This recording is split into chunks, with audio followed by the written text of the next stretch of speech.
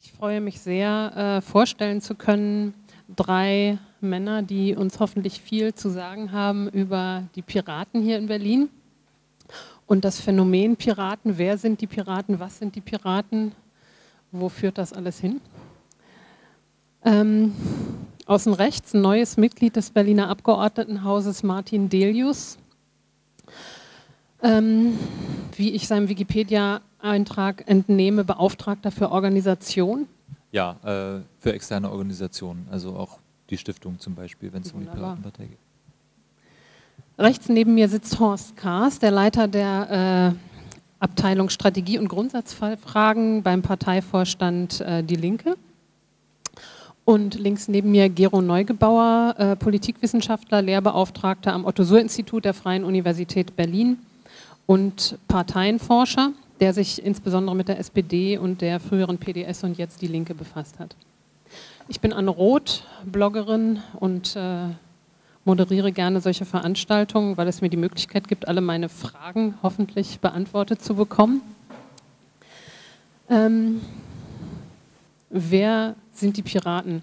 Was sind die Piraten, war die Frage. Das fand ich, fand ich auch ganz lustig.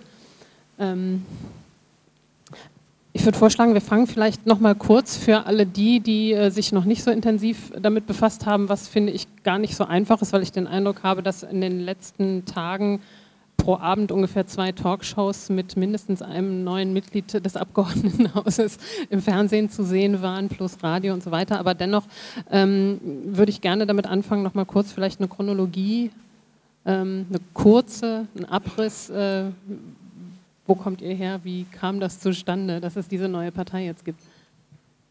Ja, der kurze Abriss äh, fängt Beginn 2006, als die Piratenpartei sich in Deutschland gegründet hat, äh, kurz nach der Gründung der schwedischen Piratpartiet, die sich aus dem ähm, Anti-Anti-Piracy-Büro der schwedischen, ähm, schwedischen ähm, Aktivisten äh, gegründet hat. Daher auch der Name. Es ging um äh, das Gegengewicht oder die Verhonopiepelung des, äh, des Begriffes Piraten, Piraterie im Sinne von, äh, ähm, von Content, äh, äh also im, Sinne von Verstößen gegen äh, das Recht der Content-Industrie, äh, Dinge im Netz exklusiv zu publizieren. Ähm, ja, dann ist eine ganze Weile lang nichts passiert, beziehungsweise sehr wenig. Die Piratenpartei war sehr klein, in Berlin glaube ich so ungefähr 30 Mitglieder. Der Berliner Landesverband hat sich glaube ich 2007 gegründet. Ähm, dann kam die Europawahl, ich, äh, Europawahl 2009, das äh, ist vielleicht noch ein Begriff, da war ja die 1,4 Prozent und die beiden Abgeordneten der schwedischen Piratpartei im Europaparlament. Es gab eine mediale Aufmerksamkeit und kurz danach die Bundestagswahl 2009 die davon geprägt war, dass es äh, eigentlich keinen Wahlkampf gab und dass äh, Frau Merkel sich im Schatten gehalten hat. Daraufhin äh, haben sich die Medien äh, vor allen Dingen auf diese neue wilde Partei gestürzt. Die hat auch schöne Bilder geliefert und ähm, hat uns das erste Mal die Möglichkeit gegeben, ähm, die Inhalte, die wir damals schon hatten, das war so der typische Kernbereich Piratenpartei, die äh, informationelle Selbstbestimmung, Datenschutz, äh, Freiheit des Internets, also äh, Deregulierung aller möglichen Versuche von Überwachung und äh, Data Retention ähm, in die Öffentlichkeit zu bringen. Dann gab es da diesen großen Hype und äh, die Piratenpartei ist äh, von bundesweit 1000 Mitgliedern ähm, auf 12.000 oder 13.000 angestiegen innerhalb von zwei Monaten. Das heißt, die Partei hat sich eigentlich 2009, 2009 neu gegründet, dann ist wieder eine ganze Weile lang nichts passiert, zumindest in der medialen Öffentlichkeit. Ja, okay, sorry. Ich versuche, ich versuche nicht allzu sehr übersteuern zu wirken. Dankeschön. Ähm, ja, dann hat sich eine ganze Weile äh, lang nichts getan, also äh, zumindest in der medialen Öffentlichkeit. Wir haben äh, von 2009 äh, über 2010 bis jetzt Anfang dieses Jahres sehr viel Zeit darin äh, investiert, unser Programm zu erweitern auf Themen wie äh, Sozialpolitik ähm, und an quasi die äh, Kernthemen angeschlossene Themenbereiche, haben uns damit beschäftigt, wie man Demokratie, innerparteiliche Demokratie neu äh, strukturieren kann, mithilfe des Prinzips Liquid Democracy, da können wir auch dann noch gerne drüber reden, ähm, haben ein äh, meiner Meinung nach revolutionäres neues äh, System getestet und erprobt, haben damit unsere Schwierigkeiten gehabt, das hieß Liquid Feedback. Und dann kam das Superwahljahr 2011 und wir, sind, äh, wir haben es geschafft, äh, in jedem, Landes, in jedem Land, in dem eine Wahl war, anzutreten. Das hat ja mal damit zu tun, dass wir Unterschriften sammeln äh, mussten inzwischen. Ähm, und haben unser Bundestagswahlergebnis in den Großteil der Bundesländer bestätigt, also so ungefähr die 2%, die wir in der Bundestagswahl hatten. Ja, und dann kam die Berlin-Wahl. Das ist, glaube ich, den Leuten noch äh, gut in Erinnerung, was hier so los war und dass plötzlich überall äh, Piratenplakate aufgetaucht sind, obwohl wir äh, wahrscheinlich nur ein Viertel oder ein Fünftel der Anzahl äh, der äh, etablierten Parteien, wie man so schön sagt, äh, gehängt haben. Hatten sehr viel mediale Aufmerksamkeit wieder und die Leute haben angefangen, unser Programm zu lesen. Das ist so mein Eindruck, ähm, das Berliner Wahlprogramm. Und dann war eine Wahl. Das ist jetzt die ganz kurze Version. Ich hoffe, das reicht. Ansonsten. Äh ja, vielen Dank. Ähm, mein Eindruck ist, dass äh, obwohl es dieses Programm gibt, die meisten Leute nicht wissen, was da drin steht. Ähm, vielfach wird kolportiert, naja, die beschäftigen sich mit Netzpolitik, aber ansonsten haben die eigentlich kein Programm. Eine Nachbarin von mir behauptet steif und fest, das ist eine Hausbesetzerpartei, obwohl ich hier mehrfach widersprochen habe. Ähm ja, ich war auch nicht, also habe mich sehr gewundert, ähm, hatte aber auch kein Programm dabei. Ähm, die Frage, was steht in dem Programm, ist natürlich jetzt nicht richtig, aber könntest du doch noch mal kurz vielleicht noch äh, ein paar Eckpunkte neben der Netzpolitik umreißen? Ja, also äh, fangen wir mal an mit der Hausbesetzerpartei. Ähm, über Stadtentwicklung ähm, haben wir einen größeren Absatz im Programm äh, verfasst, der sich hauptsächlich äh, um äh, die, die Verstetigung bzw. den Ausbau vom staatlichen äh, äh, Mieteigentum äh, dreht, Vorverkaufsrecht für Mietergemeinschaften äh, und genossenschaftlichen Wohnprojekten. Das ist so der, das ist eventuell dann das, der Grund für die Hausbesetzerpartei. Auch die äh, Abschaffung der Berliner Linie ähm, steht da drin. Wir haben ähm, im 2010 im oh Gott, Oktober jedenfalls hatten wir einen Bundesparteitag in Chemnitz, in dem wir ein Grundsatzprogramm beschlossen haben, das sich auch äh, auf die Sozialpolitik erweitert. Das haben wir in Berlin äh, vertieft.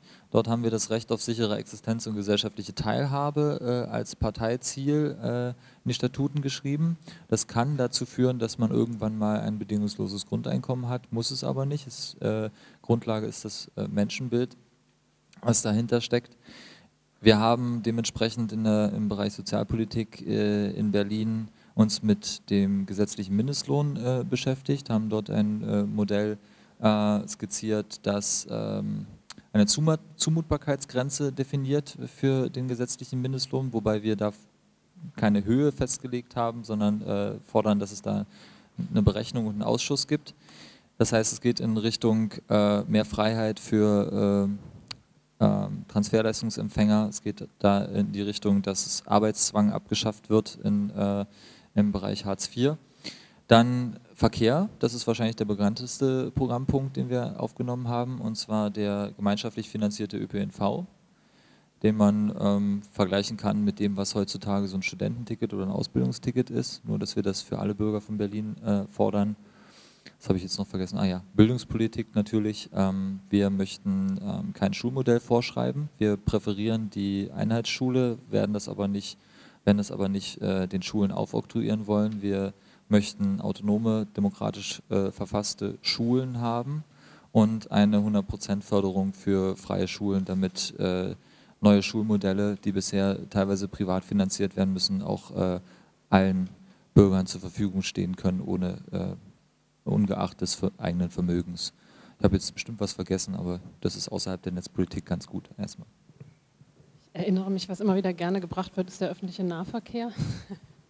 Äh, ja, der, also den gemeinschaftlich finanzierten, das äh, meinte ich. Also das ist das Modell, dass wir äh, Ticketverkauf, Kontrolle, äh, die Sanktionen gegen Schwarzfahrer äh, abschaffen möchten und eine Möglichkeit äh, finden möchten, das Ganze gemeinschaftlich finanzierbar zu machen, auch sozial verträglicher zu machen. Das heißt, ähm, ähm, eine Aussetzung der, der entsprechenden Abgabe, die man dann definieren möchte für Sozialleistungsempfänger zum Beispiel. Und ähm, im ersten Schritt die, ach, das habe ich noch ganz, die Transparenz von äh, öffentlichen, also Verträgen der öffentlichen Hand ist uns extrem wichtig. Das heißt, der erste Schritt auch für die S-Bahn und die BVG muss sein, dass die Verträge komplett öffentlich gelegt werden, damit man überhaupt erstmal Berechnungen anstellen kann und ähm, in die Richtung geht es auch. Ich glaube, wir werden das sicher nachher noch, oder hoffe ich jedenfalls, ein bisschen aufgreifen, die verschiedenen Themen, aber ich würde doch gerne jetzt erstmal noch bei den Rahmenbedingungen bleiben. Ähm, dazu gehört auch, dass äh, allgemein beschrieben wird, dass die Piraten eben nicht wegen ihres Programms gewählt werden, sondern aus anderen Gründen. Wer wählt die Piraten? Das kann vielleicht der Politikwissenschaftler am besten beantworten. Gib mir das Mikro, ich nehme dies, danke. Ja, wer wählt sie? Das ist in der Tat äh, in Berlin ganz interessant angesichts, dieser, angesichts der These, dass äh, es nur ganz bestimmte Gruppen sind. Ähm, ich langweile kurz mit ein paar Zahlen, damit das deutlich wird. Aber denke, es wird auch deutlich, dass das doch ein äh, besonderes Segment in der Berliner Gesellschaft ist. Also es sind im Wesentlichen von in den, wenn ich Tabellen mal so einfach inhaltlich vorlese, es sind Leute mit höherem Bildungs, Stand soll heißen, Leute mit Abitur, mit und Fachschulreife oder mit Uni- und Hochschulabschluss, dass dann 10 Prozent der Wähler in dieser Gruppe haben die Piraten gewählt. Und das ist mit 10 Prozent, nennt man das in der Regel überdurchschnittlich bei den 8,9 Ergebnissen. Äh, bei den Selbstständigen war es 14 Prozent der Selbstständigen, die äh, Piraten gewählt haben. Das macht vielleicht auch erklärbar, dass eine von den Forderungen im Programm die Beendigung der Zwangsmitgliedschaft in IHK ist. Ja? Weil das ist in der Tat für manche, die keine Einkünfte haben, dann auch Gebühren zahlen müssen, schon ein echtes Problem. Aber erstaunlicherweise 11 Prozent aus der Gruppe der Arbeiter, 10 hm, Prozent aus der Gruppe der Angestellten, das ist die gleiche Höhe wie bei den Linken. Die Linke hat mehr Arbeiter, sind 15 Prozent gewesen. Beamte, sehr kümmerliches Ergebnis mit 6 Prozent, da seid ihr wahrscheinlich zu erschreckend für die. Aber auch bei die Linken sind überhaupt nicht mehr attraktiv für äh, für Beamte mit 4 Prozent, 3 Prozent Rentner. Das ist, wenn man die Berliner Gesellschaft, den Altersdurchschnitt betrachtet, doch ein eindeutiges Signal dazu, äh, zu sagen, äh, wo äh, na, der Zugang zum Netz noch verbessert werden muss, in welchen Gruppen. Ja. Arbeitslose 13 Prozent, ein ziemlich hoher Anteil. Äh, bei den Linken war es 16 Prozent, aber das ist äh, einmal sozusagen durch, von den Berufsgruppen her gesehen. Bei den Generationen liegt der Schwerpunkt äh, der Piraten vor allen Dingen in den Altersgruppen bis 34 Jahren. Da sind sie mit der CDU zusammen drittstärkste Kraft, die stärksten sind die Sozialdemokraten. Und bei den 25 bis 34-Jährigen sind die Piraten noch stärker als die Union. Die Union hat in dieser Gruppe auch einiges gewonnen, aber das ist immer dieses, äh, die Erklärung für das Attribut, das sind junge Männer. Es sind 20 Prozent der jugendlichen Männer, die äh, Piraten gewählt haben. Es gibt nur noch eine Partei, die mehr geerntet hat, das sind, ist die Sozialdemokratie mit 24 Prozent, aber die hat 12 Prozent verloren in dieser Gruppierung. Und äh, es sind, und zu sagen, ja, wegen der Themen, also nicht der, Haus, der Hausbesetzung, ja, sondern einmal sind für die Piraten die Themen wichtig gewesen. In der Regel wählen Leute nach, entweder orientieren sie an Personen, an, an Themen und damit verbundener Erwartung, bestimmte Themen auch und bestimmte Probleme auch gelöst zu bekommen und äh, an der Parteineigung. Also stehen Sie einer Partei nahe oder wählen Sie die Partei, egal ob die nun Besenstiel, ein Kardinal oder naja, noch jemand anders aufstellt. Bei den Piraten sind es über 80 Prozent, die gesagt haben, es sind die Themen. Und unter den Themen waren es vor allen Dingen Sozial- und Schulpolitik. Das ist für die Wähler bei den Piraten wichtigste Grund gewesen. Äh, die, sowas kommt raus, wenn Wähler und Wählerinnen, nach dem, nachdem sie gewählt haben, rausgehen und von den Institutsmitarbeiterinnen befragt werden und die dann sagen können, ja, das war für mich Grund zu wählen. Aber was entscheidend ist, und das spricht auch sozusagen für, also was auch nicht unwichtig ist, äh, die Piraten sind die, die Piratenwähler sind die Gruppe, die von denen die meisten oder ein großer Anteil, nämlich 19 Prozent, sich erst am Wahltag für die Piraten entschieden haben. Ja? über 30 Prozent schon in den letzten Tagen, aber das ist erheblich und insofern denke ich, äh, ist die Mobilisierung doch noch ganz gut gelaufen. Also das erstmal so Statistisches zu den Wählern und etwas zum Thema.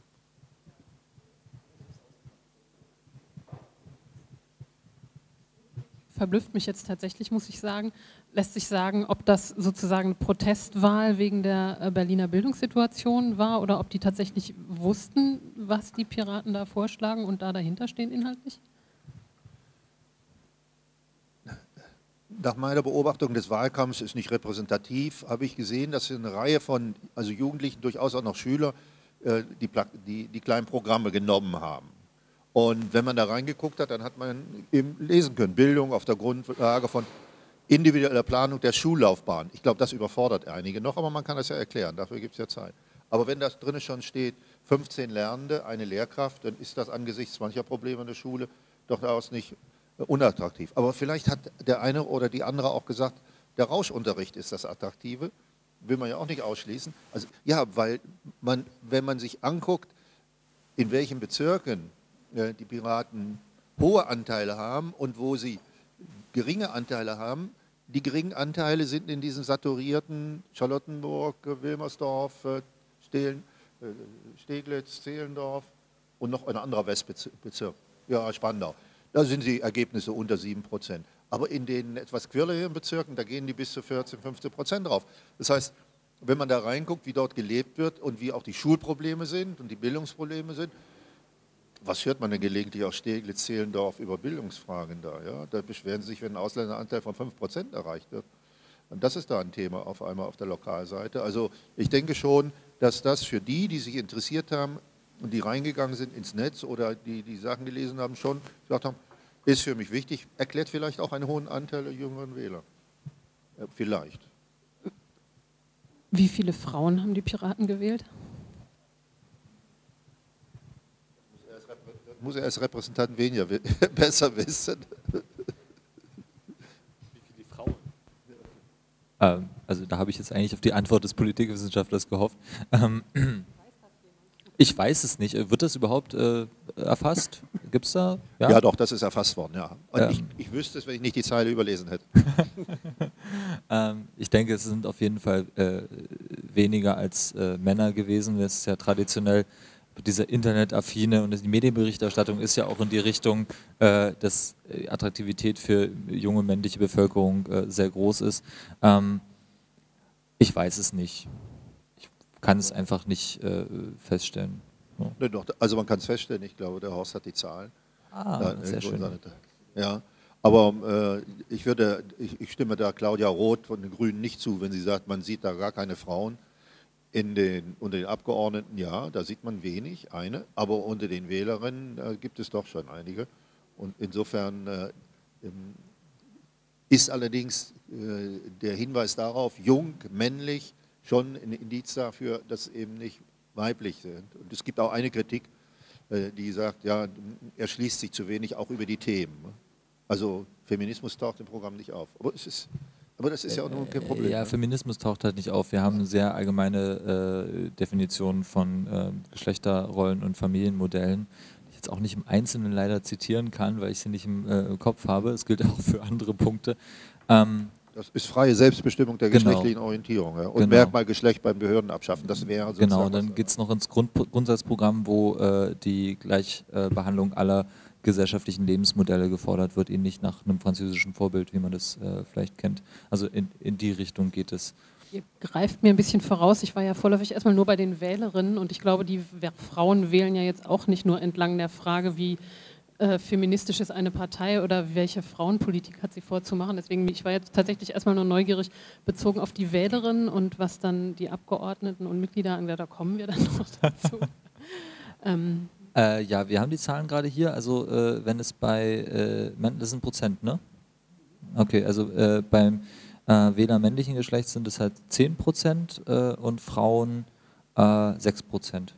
Also das Verhältnis ist schon recht also ich hätte es jetzt äh, krasser erwarten können eigentlich.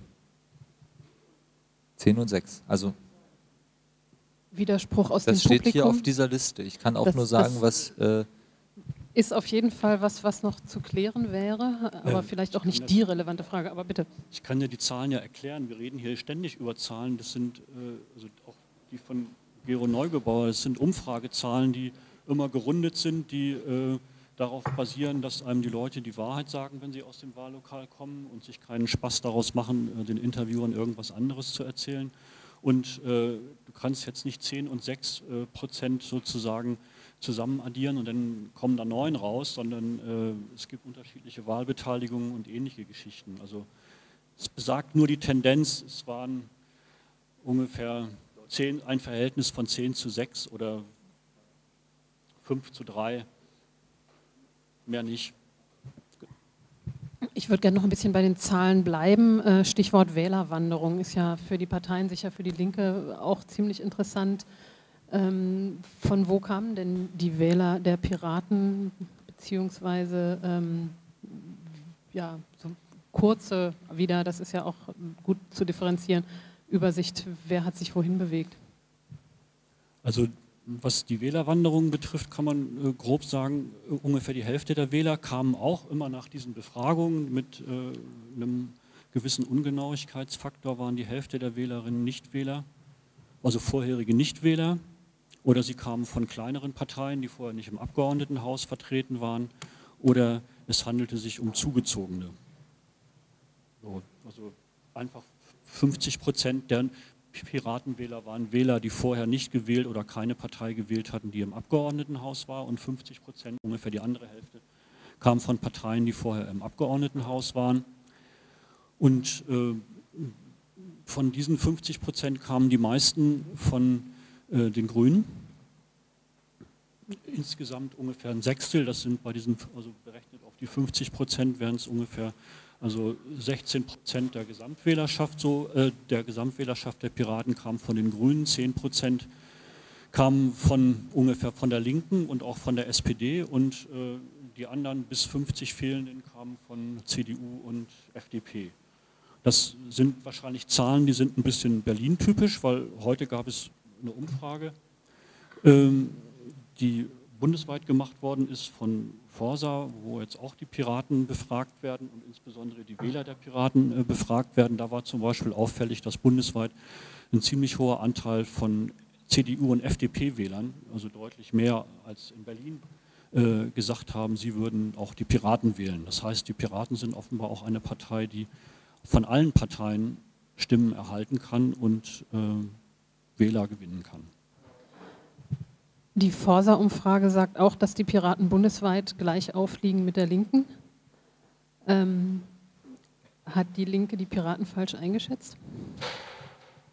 Nee, ich glaube nicht, dass wir die Piraten falsch eingeschätzt haben, äh, weil man muss ja, also man kann ja nicht davon ausgehen, dass wenn eine neue Partei entsteht, man, äh, dass das ein Resultat der Fehler der alten Parteien ist, sondern ich würde im Falle der Piraten davon ausgehen, dass es sich um eine Partei handelt, die für gesellschaftliche Veränderungen steht, auf die andere Parteien ihre Probleme haben zu reagieren. Um das kurz zu erläutern, in der Regel gibt es immer zwei Fälle für neue Parteien. Entweder gibt es irgendwelche Interessen, die nicht äh, äh, halt abgedeckt werden von den existierenden Parteien und dann äh, gründet sich eine neue Partei, die diese Interessen vertritt.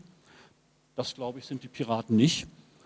Ähm, ich vermute, aber auch das kann man ja nur vermuten und spekulieren, weil man über die weitere Entwicklung schlecht was sagen kann und auch nicht voraussagen kann. Ich vermute aber, dass die Piraten eine Partei sind, die entstehen entlang einer neuen gesellschaftlichen Konflikt, Konfliktlinie, die entsteht, die sich durch äh, drei vielleicht Aspekte auszeichnet. Erstens würde ich sagen, sie zeichnet sich durch, einen, den, durch den Aspekt des Internets aus und, äh, und des äh, deutlichen Bezugs auf digitale Technik und zwar eines sehr starken positiven Bezugs der äh, Nutzung und, äh, ein, ein, und des Einsatzes dieser Technik für Gestaltung von Politik, von gesellschaftlichen Verhältnissen. Das ist etwas, was in allen anderen Parteien äh, eigentlich sehr unterentwickelt ist und nicht ihr eigentliches Image als Partei ausmacht. Sie zeichnen sich dann dadurch aus, es wurde angesprochen, äh, dass Sie äh, auf neue Art und Weise Eigentumsfragen stellen. Ähm, also wenn es um solche Fragen geht wie äh, Öffentlichkeit wie Zugänglichkeit von Wissen, wie also Zugänglichkeit von öffentlich geförderten Forschungsergebnissen, von öffentlicher Software und so weiter, dann steckt dahinter eine Tendenz, die ja viele Menschen erleben und tragen, mittragen, dass die Fragen von Zugängen und Eigentum in der digitalen Welt äh, neu geordnet und geklärt werden müssen. Und man könnte auch sagen, die Piraten stehen so für etwas wie ähm, Verteidigung von so bestimmten kommunistischen Ideen, von Gemeineigentum. Äh, da würde ich äh, gerne. Nee, ich, will, ich will noch bitte äh, noch mal, noch mal ja, äh, was, heißt, was heißt denn, äh, ich, ich, ja, deshalb sitze ich ja hier. Äh, und also man kann das ja mal so als eine Tendenz und eine These in den Raum stellen, um zu erklären, was da sich hinter verbirgt, weil das passt zu einem dritten Aspekt, der mir wichtig ist. Also wenn man sich anguckt, dass die Piraten in Berlin vor allen Dingen von unter 45-Jährigen gewählt worden sind und in Ostberlin stärker als in Westberlin dann kann man sich fragen, was bedeutet das? Dann bedeutet das möglicherweise, dass sie gewählt worden sind von Wählern, die erstens sehr, einen sehr starken Bezug zu Internet äh, und Ähnlichem haben, die Bezug zu solchen Berufen haben, die vor allen Dingen aber nicht in geordneten Arbeitnehmerverhältnissen leben, sondern als kleine Selbstständige, äh, prekär Beschäftigte oder wie auch immer sich durchschlagen und in diesen Verhältnissen auch sozialisiert worden sind. Das führt dazu, dass man ein bestimmtes Verhältnis entwickelt zu so sozialen Basics, Grundeinkommen, wie, wie kostenloser Nahverkehr und ähnlichem Dingen. Also das, was man braucht, um in einer Gesellschaft zurechtzukommen. Und auf dieser Basis von einer bestimmten gesellschaftlichen Grundausstattung, die dann auch Gemeingut ist, äh, äh, äh, halt seine, sein eigenes Leben gestalten zu können, sein Einkommen erzielen zu können, seine Ideen umsetzen zu können. Das ist auch etwas, was mit dem, mit, den, mit dem Internet, seinen technischen Möglichkeiten verbunden ist und ein positiver Bezug darauf ist. So, jetzt unser Problem als Linke, ich rede auch nur jetzt über unsere Probleme damit und nicht die Probleme der Grünen und anderer Parteien. Unser Problem ist, dass wir eine Partei sind, die sind, ist entstanden und hat auf der Erfolgswelle des Widerstandes gegen, der, gegen die Agenda 2010 ihre äh, Wahlerfolge gehabt. Der, der Widerstand gegen die Agenda 2010 war aber einer, der wurde getragen von einem Sozialstaatsbild, von einer Mentalität, von einer Lebensvorstellung von Arbeitnehmern in festen sozialen, in Anführungszeichen festen sozialen Arbeitnehmerverhältnissen mit einem gesicherten Arbeitnehmerstatus. Daher kommen Forderungen wie Rente mit 67 und so weiter, was zentrale Forderungen der Linken sind. Damit langweilen wir, glaube ich, Leute, äh, die gar nicht erfahren konnten in ihrem Leben, wie es sich darin lebt in solchen Verhältnissen, für die das auch gar nicht erstrebenswert ist. Wir können aber auch nicht plötzlich die gleichen Positionen vertreten wie äh, die Piraten. Also das Grundeinkommen ist bei uns in der Partei ein sehr umstrittenes Thema und entlang genau dieser Frage finden bei uns auch die Debatten statt. Wir können nicht die gleichen Positionen vertreten, weil wir dann Wähler verlieren würden. Das heißt, eigentlich äh, sage, muss man sagen, die Piraten formulieren in meinen Augen etwas, was sich in der Gesellschaft als, als neue Konfliktlinien entwickeln wird, was auch Zukunft haben wird. Möglicherweise auch eine Zukunft für die Piraten, auf jeden Fall alle anderen Parteien dazu zwingt, sich zu verändern. Und äh, dieser Veränderungsprozess wird sich wahrscheinlich nach dem Berliner Wahlerfolg deutlich beschleunigen. Ähm, dass die Linke noch das Wort Kommunismus in den Mund nimmt, ähm, freut mich. ähm, ähm, ich ähm, war jetzt nicht so ernst gemeint.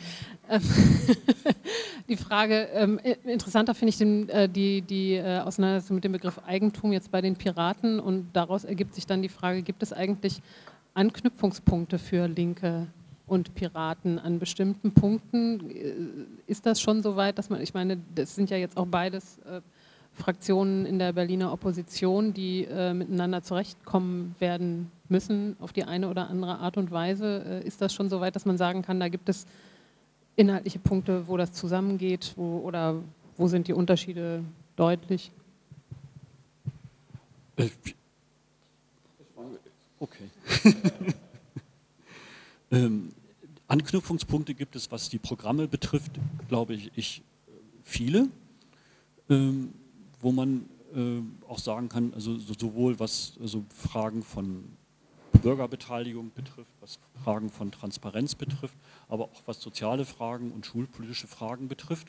Ich glaube, was äh, also eigentlich das Spannendste ist, neben der Frage, wo man an bestimmten inhaltlichen Fragen zusammenarbeiten kann, das Spannendste wird ja sein, ob, der, ob das Versprechen eines neuen Politikstils, was von den Piraten gekommen ist und was von den, ihren Wählern auch erwartet worden ist, ob dieses Versprechen einlösbar ist und ob andere Parteien bereit sind, da auch mitzumachen. Also auch diese Veränderungen zu akzeptieren. Das heißt für uns viel stärker zum Beispiel auch das äh, zu berücksichtigen, was in unserer Partei in so etwas wie Landesarbeitsgemeinschaft Netzpolitik oder bei einzelnen Abgeordneten eher so ein Nischendasein führt, das also stärker in das Parteileben hineinzuholen und äh, aus den Experimenten, die wir mal gemacht haben. Wir haben mal versucht, unsere Programmdebatte also auch mit der gleichen Software zu führen und zu gestalten. Etwas, ja, nicht die gleiche, eine ähnliche. Ähm, äh, richtig. Hat, hat das funktioniert? Äh, äh, also, also das hat, das hat, das hat einen gewissen, das hat einen gewissen äh, Zuspruch gefunden. Es, hat da auch, es haben da auch Debatten stattgefunden.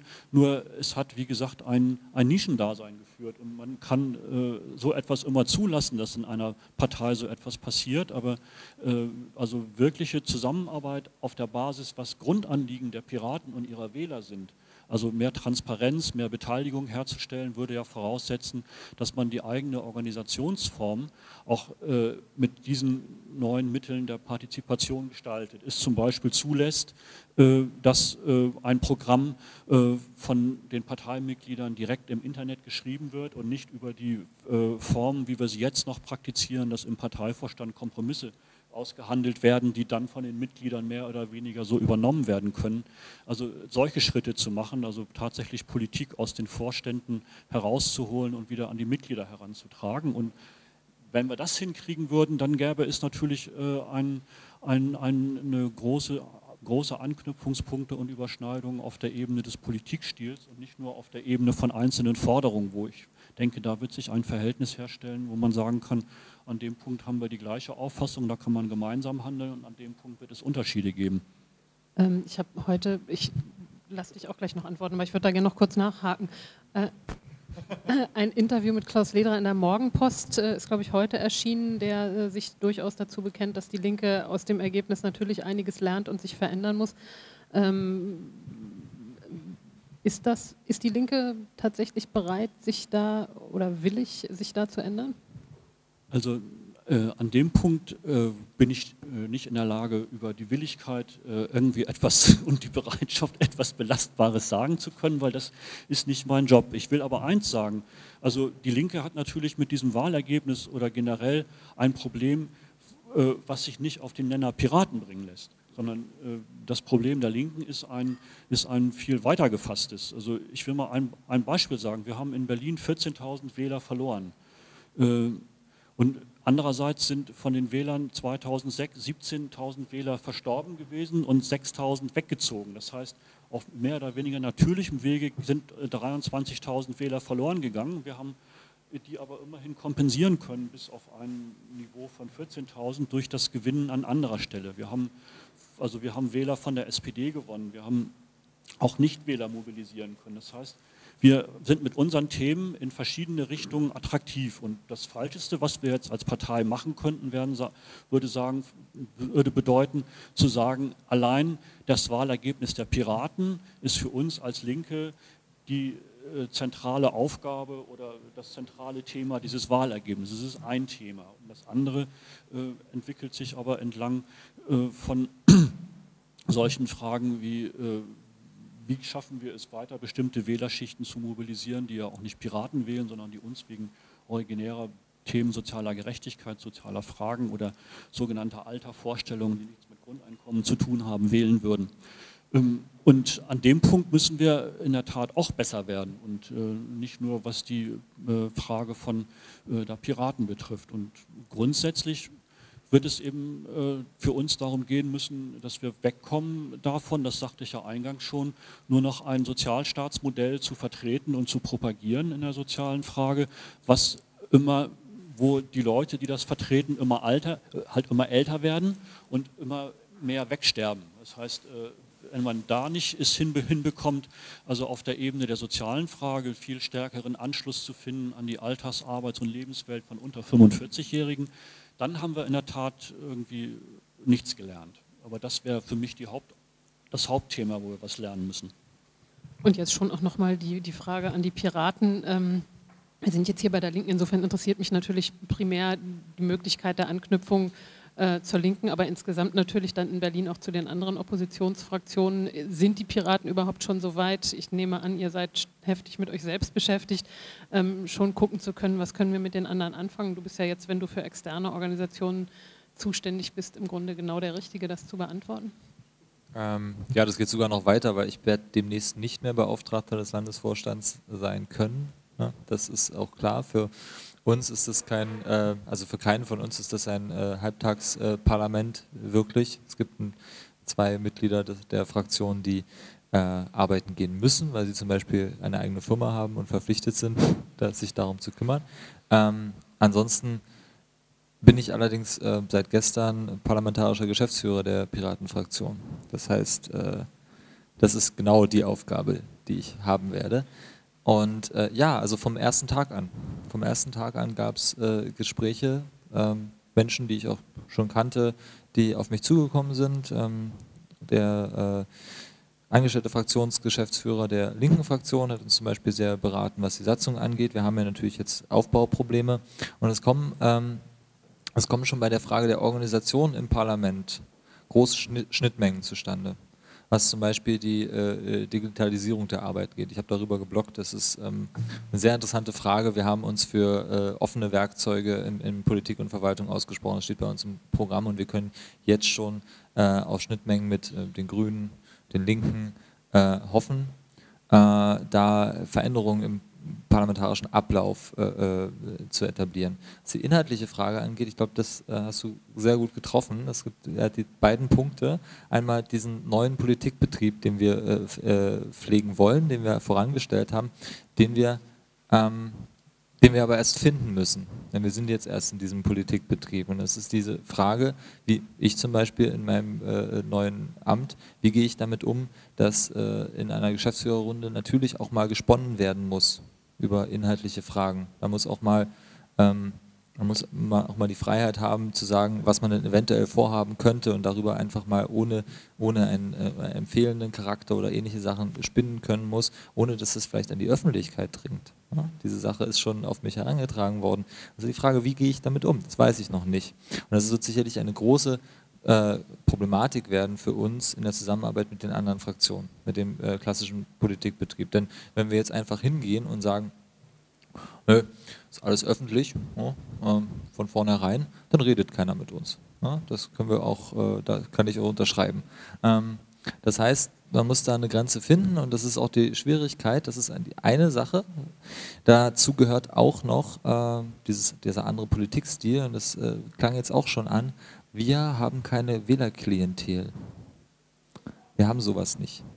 Wir haben jetzt, wir können sagen, okay, es sind die äh, jungen, gut gebildeten, männlichen, das ist aber nicht eine klassische Klientel im politischen Sinne. Es sind eben nicht die Arbeiter oder eben die Nichtarbeiter. Es sind ein, äh, sowohl Professoren als auch wissenschaftliche Mitarbeiter, als auch Hartz-IV-Empfänger und so weiter und so fort. Die haben keine klassische Klientel, an denen wir unsere Forderungen äh, äh ausrichten. Das werden wir eventuell in fünf Jahren haben. Ich weiß nicht, wie die Entwicklung hingeht. Wir haben, sind aber sehr frei in der, äh, in der Erwartungshaltung. Wir haben unser Programm, wir haben nur das Programm, an das wir uns halten müssen. Das ist auch nicht allzu eng gefasst. Das heißt, es, Schnittstellen, Schnittmengen können ausgebaut werden und wir können äh, mit dem innerparteilichen äh, Demokratiebetrieb, den wir haben, der auf, darauf ausgelegt ist, sehr dynamisch zu sein, sich schnell, äh, äh, schnell reagieren zu können auf, auf äh, Dinge, ähm, können wir diese Schnittstellen halt auch dynamisch ausbauen. Wir müssen gerade, wir arbeiten gerade, natürlich ist es richtig, wir beschäftigen uns sehr viel mit uns selbst, äh, müssen wir auch arbeiten gerade an den Schnittstellen zur Partei, die dann auch das möglich machen, ja, diese, diesen, dieses schnelle Feedback zu bekommen. Das ist das zum Politikstil.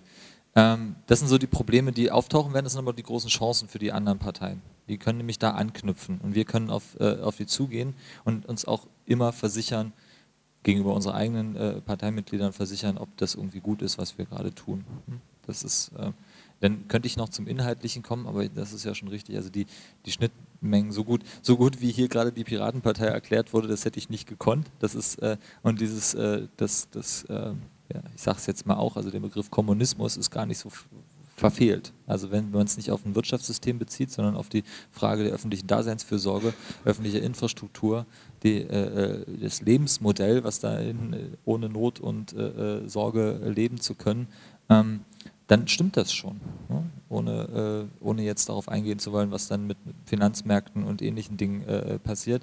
Aber soweit stimmt das schon und die Schnittmengen sind auch zum Beispiel zu den Grünen sehr groß. Bei der CDU sage ich jetzt mal am besten nichts. Das ist eher so der Antipol äh, zu uns, gerade was so Bürgerrechtsfragen angeht. Ähm, ja.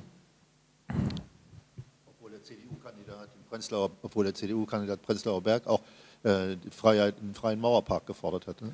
Ja, äh, Klientel, da sind wir bei der Klientelpolitik wieder. Ja, das ist. Äh, ähm, ja, ansonsten. Ähm, muss man da auch mal, kann ich vielleicht eine kleine Lanze brechen äh, mit den Schwarzen. Ähm, die Erarbeitung, ich weiß nicht, ob Sie es mitbekommen haben, die Erarbeitung dieses, äh, des Wahlprogramms der Berliner CDU, die ist ja online erfolgt. Ja? Das ist äh, auch erstaunlich. Ich habe mich, auch was sehr skeptisch, weil dann ist es halt online und dann ist trotzdem nochmal ein Vorstand da, der das alles umschreibt und es dann zur Wahl stellt und solche Sachen. Das ist ja die äh, klassische Erwartungshaltung. Aber sie haben es tatsächlich geschafft, diesen Prozess durchzuhalten bis zu dem Punkt, wo die Wahl aus war und das Wahlprogramm geschrieben war. Das ist ja kein stetisches, äh, stetiges Projekt gewesen, aber an der Stelle muss ich äh, schon meinen Respekt aussprechen. Die, diese, diese Online-Mitbestimmung, die sie da versucht haben, die hat tatsächlich bei denen funktioniert. Und ich, soweit ich das erkennen kann, ist es auch kein Korrektiv aus der Partei gewesen, das dann da äh, die Hand drauf gehalten hat und bestimmte Punkte halt weggeschmissen hat oder äh, komplett umformuliert hat. Das finde ich schon, also da auch sind Schnittmengen da, denke ich. Ähm, von diesen ganz konkreten äh, Sachen hier, vor allen Dingen auch in Berlin, würde ich jetzt gerne wieder einen Schritt weggehen. Ähm, dass äh, die Wahl ein Stück weit eine Protestwahl ist, äh, gewesen ist, das ähm, ist schon gesagt worden. Die Partei selber äh, wird wahrgenommen als die ist vor allen Dingen, das sind neue Formen, die machen das jetzt ganz anders, die sind einfach ganz anders, deswegen sind sie auch attraktiv. Ähm, meine Frage ist, äh, die Grünen sind auch mal ganz anders gewesen und ähm, ich war da noch sehr jung, aber in meiner dunklen Erinnerung habe ich die als noch deutlich mehr anders wahrgenommen damals, als ich momentan die Piraten selbst mit ihren ganz neuen Formen wahrnehme. Ähm, so aus der Perspektive des äh, Parteienforschers lässt sich das vergleichen, das Phänomen Grüne vor jetzt 30 Jahren ähm, mit den Piraten heute. Wo sind Ähnlichkeiten, wo sind Unterschiede und ähm, vielleicht eine Prognose, wo werden die Piraten sich hinbewegen? Also wenn man äh, das Westberlin äh, nimmt vor 30 Jahren, äh, das ich etwas besser kenne als das Ostberlin vor 30 Jahren, aber das kenne ich auch ausreichend genug. Dann können wir feststellen, dass wir seit Ende der 70er, Anfang der 80er diese Abkopplung von Lebenswelten und Lebensstilen, vom, was wir heute Mainstream nennen, kennen nämlich das Auftauchen von bestimmten Milieus, die vor allen Dingen, was man sagt, libertäre Wertorientierung hatten, die also großen Wert legten auf Selbstbestimmung, auf demokratische Partizipation, auf Freiheitsbegriffe, auf die Abwesenheit des Staates, und zwar Abwesenheit von Zwang. Da kann man natürlich sagen, da gäbe es auch eine Schnittmenge mit den alten Sozialliberalen, aber das denke ich nicht, dass man irgendwo äh, davon sprechen sollte, dass äh, FDP und Piraten an einem bestimmten Punkt auch Identitäten haben. Wenn man dann sieht, dass, wie sich das in die, bei den Grünen weiterentwickelt hat, auf der Organisationsebene gibt es schon Ähnlichkeiten. Ich erinnere mich immer bei der alten alternativen Liste, wer an dem Tag in der Nähe eines Mikrofons war und etwas zu sagen hatte, der war für diesen Tag der Sprecher der Grünen in der Angelegenheit in diesem bestimmten Politikfeld. Zwei Tage später war es halt auf einmal ein anderer. Äh, das hat sich dann allerdings relativ schnell konsolidiert oder besser gesagt, die, die Begegnung mit den Institutionen Abgeordnetenhaus hat dazu geführt, dass bestimmte Sachen einfach unterblieben sind. Was passiert ist, ist, dass ja verschiedene Gruppen gekommen sind und gesagt, jetzt müsst ihr unsere Interessen vertreten. Und das, das stellt sich dann bald auch heraus, da stellt sich bald heraus, wer eigentlich auch vom Gefühl der Partei her als relevant betrachtet werden muss. Eine, eine Partei, die keine gesellschaftlichen Interessen vertritt, äh, die kann sich aufgeben, weil sie dann irgendwann den Zuspruch äh, verliert. Aber das Entscheidende ist, glaube ich, dass man sagen muss, das, was die Piraten, und der Horst Gas hat recht darauf hingewiesen, bisher nicht deutlich gemacht haben und was wichtig ist für ihre eine Dauerhaftigkeit ihrer Existenz, ist, dass sie die Konfliktlinie, an der entlang sie sich organisieren, auch so verständlich machen für ein breiteres Wählerpublikum, dass sie sagen können, ja, das ist unseres. Die Grünen hatten es da, oder die Alternativenliste und die Grünen hatten es da leichter. Die hatten diesen Ökologie, Ökonomiekonflikt, die haben deutlich machen können, wofür sie stehen und die haben da auch eine Kompetenz erworben. Das mit der Kompetenz könnte man den Piraten vielleicht auch zutrauen, sagen, das ist, wenn diese Netzaffinität und die Umsetzung des Internets in den politischen Alltag, aber auch in die Kommunikation zwischen Politik und Bürger und innerhalb, unter den Bürgern selbst dominiert oder besser gesagt zunimmt, dann könnten die gerade in Abwehr von Ansprüchen, wie sie jetzt bei, wieder in der Union auftauchen, was will der Siegfried Kauder, ein Gesetz machen, das irgendwie wieder große Sicherheitsvorschriften, denkt, naja gut, Internet verbieten, ja, aber äh, Herr Uhl ja, und Herr Kauder, ich meine, die halten alle Internetnutzer möglicherweise für Pädophile oder was, oder Terroristen. Also so eine Annäherung ans Netz ist natürlich schon eine Katastrophe. Das ist, da muss, da muss etwas hin, was sie, deut, was sie äh, deutlich erkennbar macht. Aber es gibt allerdings auch einen anderen Punkt. Ähm, die Piraten profitieren auch von dem Verlust der Integrationsfähigkeit der anderen Parteien. Die Linke hat Wähler verloren, weil das Markenschild der Linken, soziale Gerechtigkeit, Anhänger, die das letzte Mal noch Linke gewählt haben, diesmal nicht gewählt haben und gesagt, da gehen wir woanders hin. Die gehen dann auch aus diesem Grund zu den Piraten. Das hat mit Sicherheit auch mit dem von Horst Kahrs gerade entworfenen äh, Sozialstaatsbild zu tun oder dem Bild, was man äh, nachhängt. Aber es hat auch damit was zu tun, dass die sozialen Veränderungen in der Berliner Gesellschaft dazu führen, dass eine Bugwelle faktisch entsteht, diese Bugwelle eben unter anderem gespeist wird aus unterschiedlichen Lebensstilen, aus Erwartungen von Leuten, die hierher ziehen, vielen Erwartungen oder Erwartungen von vielen Leuten, die gar nichts mit den alten Problemen Berlin zu tun haben wollen und die dann auch sagen, wir fühlen uns am besten durch die Piraten repräsentiert. In zwölf Jahren könnten die Piraten nicht mehr vorne am Bug stehen, sondern möglicherweise, na jetzt hätte ich fast gesagt, eine Kombüse, aber eigentlich wollte ich an Steuer. Ne? Also irgendwo in der Mitte des Schiffes, aber nicht mehr am Bug, weil dann stehen andere am Bug. Und das ist das Problem von solchen Parteien, die sich verfestigen. Und da ist der Unterschied zu den Grünen. Sobald die Grünen angefangen haben, sich zu etablieren, im Sinne, dass sagt, wir müssen permanent fähig sein für Regierung. Regierung machen heißt, wir müssen aber auch den Spagat riskieren zwischen Erwartungen unserer Anhänger einerseits und den Notwendigkeiten, Kompromisse mit anderen zu finden, andererseits, dann in der Berliner Kampagne eher der zweite Aspekt größer wird, dass dann viele sagen, nee Leute, ich fühle mich nicht mehr von euch vertreten. Also theoretisch gesehen ja, es könnte sein, man kann durchaus Aspekte aus der Entwicklung der Grünen nehmen und damit versuchen, Aspekte der Entwicklung der Piraten zu vergleichen.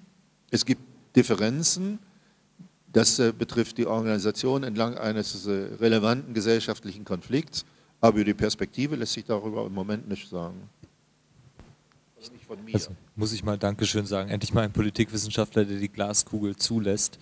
Äh, ja, also äh, dazu, das ist gar nicht so verkehrt, wobei ich an einem, einem Punkt äh, widersprechen möchte. Ähm, er hat so ein bisschen was mit beiden Feldern zu tun. Und zwar das Nichtvorhandensein dieser gesellschaftlichen Konfliktlinie, wie Sie es gesagt haben, ist ja quasi ähm, der Aspekt, der daraus hervorgeht, dass wir uns nicht eben mit äh, hauptsächlich mit konkreten Themen wie Friedenspolitik, Umweltpolitik, äh, äh, äh Feminismus wie am Anfang der Grünen äh, äh, beschäftigen, sondern mit gesellschaftlichen Metathemen möchte, könnte man es vielleicht nennen. Also mit, dem, mit der Skizzierung eines neuen gesellschaftlichen Modells oder dem empfundenen gese neuen gesellschaftlichen Modell und der Entwicklung und dem Umsetzen in eine politische Gesellschaft. Ähm, und zwar ist es ja gerade das Ziel, diesen Spagat zwischen ähm, zwangsläufiger Etablierung und diese Regierungsfähigkeit, ich stimme da vollkommen zu, an, dem Punkt, als die Grünen angefangen haben, äh, mit Regierungen zu liebäugeln, sind sie für einen Großteil ihrer Wählerschichten unglaubwürdig geworden und das haben sie immer wieder bestätigt im Laufe ihrer, äh, äh ihrer Geschichte. Ähm, genau diesen, genau diesen äh, Spagat halt hinzukriegen anhand dieser Metathemen, die wir haben, Transparenz, äh, Demokratie, also direkte Beteiligung und neue politische Modelle an, abseits von parlamentarischen repräsentativen Modellen, die wir jetzt haben, ähm, ist ja, ist ja gerade das Ziel der Piraten und daran wird man uns auch messen lassen müssen, also äh, messen lassen. Ähm, falsche Grammatik, Entschuldigung. Äh, das ist auch gerade die Schwierigkeit, vor der wir stehen. Das ist jetzt, ich glaube, nicht ein Punkt für die nächsten fünf Jahre. Ich denke, da sind wir jetzt in der Oppositionsarbeit und der zwangsläufigen Professionalisierung noch ein bisschen davor geschützt, jetzt eben genau diese Stufe hin zur Regierungspartei, zur Volkspartei oder sowas äh, äh, gehen zu müssen.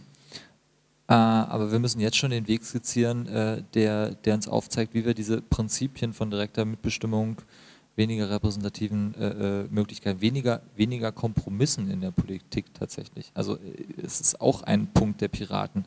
Wenn ihr uns nicht wählen wollt, dann wählt uns halt nicht. Ne? Also das ist, das da sehe ich so den großen Unterschied, denn äh, die Grünen ah, sind den Weg einer klassischen Partei gegangen. Das wollen wir halt versuchen nicht zu tun anhand dieser Metathemen.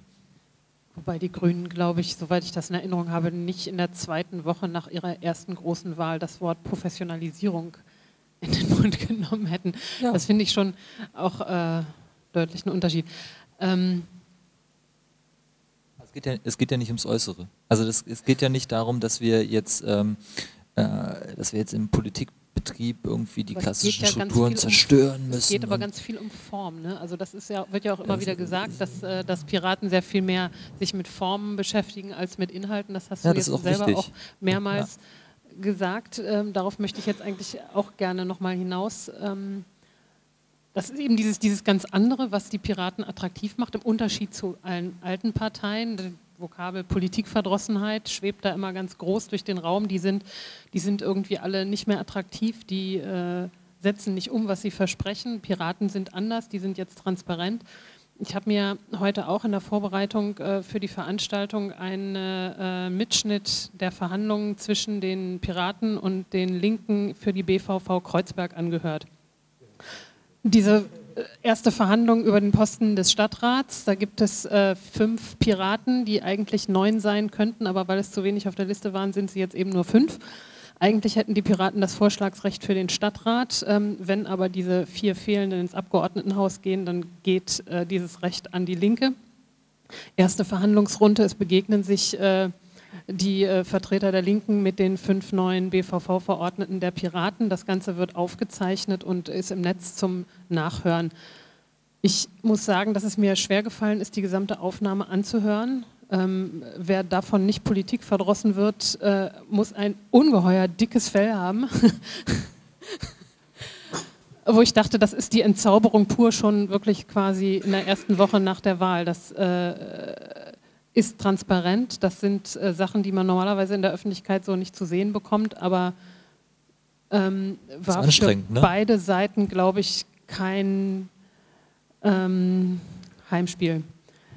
Und, und das finde ich, das finde ich, äh, ich finde, das geht sehr schnell und schon meine Frage auch an die Piraten, wenn sozusagen damit demonstriert wird, was der neue Politikstil ist. Und äh, ich kann mir nicht vorstellen, dass es viele Leute gibt, die sagen, ja genau das will ich jetzt gerne und zwar von morgens bis abends haben. Nein, Wie nein. ist das gemeint? Ähm, gemeint ist es natürlich ganz anders. Also es ist, äh, natürlich geht es um Form. Wenn ich mir um Meta, äh, gesellschaftliche Metathemen Gedanken mache, und das ist ja tatsächlich der, das Hauptthema der Piraten, dann geht es ganz viel um Form um Prozesse, um Organisationsstrukturen. Das ist auch wichtig. Das ist auch das, mit dem wir das Problem, mit dem wir umgehen gerade. Ähm, ich weiß nicht, wie die Piraten in Friedrichshain sich da geschlagen haben. Ähm, das hängt natürlich immer an den, an den Persönlichkeiten. Die äh, Wahl gestern im, äh, im Abgeordnetenhaus bei unserer Fraktionssitzung, die war auch öffentlich und live gestreamt. Und es haben immerhin in den vier Stunden geschafft, 1000 äh, Zuschauer da durchzuhalten. Also das ist, äh, da sind schon sehr viele hartgesottene dabei gewesen. Ähm, aber nein, es geht natürlich nicht darum, ähm, dass, wir uns, dass wir uns in den Politikbetrieb einfinden im Sinne von, wir versuchen keine Funda wir versuchen tatsächlich keine Fundamentalopposition äh, gegen die herrschenden Verhältnisse zu fahren, sondern tatsächlich was zu bewirken. Ähm, das mag man uns vielleicht ankreiden, wenn man das äh, anders verstanden hat, wofür wir stehen. Ähm, dass der neue Politikstil fängt da an, wo wir Dinge offen lassen. Ja, das merke ich jetzt gerade. Ich habe mich, ich habe mich unterhalten mit dem, mit dem grünen äh, äh, äh parlamentarischen Geschäftsführer, äh, also inzwischen parlamentarischen Geschäftsführer Heiko Thomas, der kam auch äh, auf mich zu und meinte, so, ja, Demokratisierung ist und Beteiligung ist toll, aber wir machen doch schon alles. Wir machen doch alles. Wir machen Bürgerversammlungen, wir laden die Leute ein, wir schreiben unendlich viele Briefe, damit sie sich beteiligen und die kommen einfach nicht. Ich sage, ja, natürlich kommen die nicht weil du ihnen A und B vorschlägst, sie beides nicht toll finden und keine Möglichkeit sehen, von alleine, ohne äh, eine Firma im Hinterkopf, ohne Entscheidungsträger zu sein, das entsprechende Planfeststellungsverfahren für irgendeine Freifläche äh, äh, da zu haben, einen alternativen Vorschlag zu bringen. Und der unterschiedliche, jetzt komme ich zum unterschiedlichen Politikstil bei den Piraten ist, erstmal keine Vorschläge zu machen, sondern Freiräume zu schaffen, politische Freiräume, wo Dinge entstehen können provoziert mich jetzt, weil Bitte. genau denselben Satz habe ich von verschiedenen Piraten auf die Frage, warum habt ihr eigentlich keine weiblichen Abgeordneten äh, gehört? Dieses, die kandidieren einfach nicht. Äh, ja, das ist eine Tatsache. Nein, es, es Wollt ja, ihr das ändern? Ähm, ja. Ja. Ich, ich, bin auch keiner der Piraten, die sagen, äh, wir haben da kein Problem. Ich bin auch keiner der Piraten, die, äh, die sagen, äh, wir, wir können das ignorieren. Das gibt sich schon. Ne? Irgendwann, vielleicht. Dann stehen wir am Ende da wie die CDU, die 20% Frauenbeteiligung hat und die Hälfte davon sind die äh, Mütter oder Frauen von Abgeordneten, ähm, um es mal drastisch auszudrücken. Ähm, nee, wir haben da Defizite, das haben alle politischen Parteien. Wir haben keine strukturell sinnvolle Lösung dafür anzubieten. Wir suchen, wir wollen offene Politik machen und das attraktiv halten. Da geht es auch ganz viel, und das haben wir bisher uns nicht angenommen, um Wording zum Beispiel. Ne? Also was ich auch immer, ein schönes Beispiel, was ich immer wieder höre, ist, ja, warum heißen eure Treffen denn in Berlin nicht, aber warum heißen eure Treffen denn Stammtische? Welche Frau geht denn gerne auf den Stammtisch? Ne? So, also das ist, das ist schon richtig. Dann sagt der Pirat immer so, das kann doch nicht wichtig sein. Das geht doch um die Inhalte und es geht doch darum, sich so. Es ist aber wichtig. Und dass wir uns mit diesen Themen so auseinandersetzen, dass wir die Probleme akzeptieren uns da auch Beratung holen. Und das ist tatsächlich auch geplant. Wir haben ähm, gestern darüber gesprochen, in einer kleineren Runde, das ist, äh, mein Kollege wird sich jetzt wundern, äh, äh, dass wir tatsächlich eine Veranstaltung genau zu diesem Problem machen und uns äh, eine offene Diskussion, wie können wir, wie können wir äh, für alle möglichen gesellschaftlichen Minderheiten und auch natürlich für Frauen Politik attraktiver machen und unsere Partei attraktiver machen. Denn wir haben dafür keine Lösung. Hm?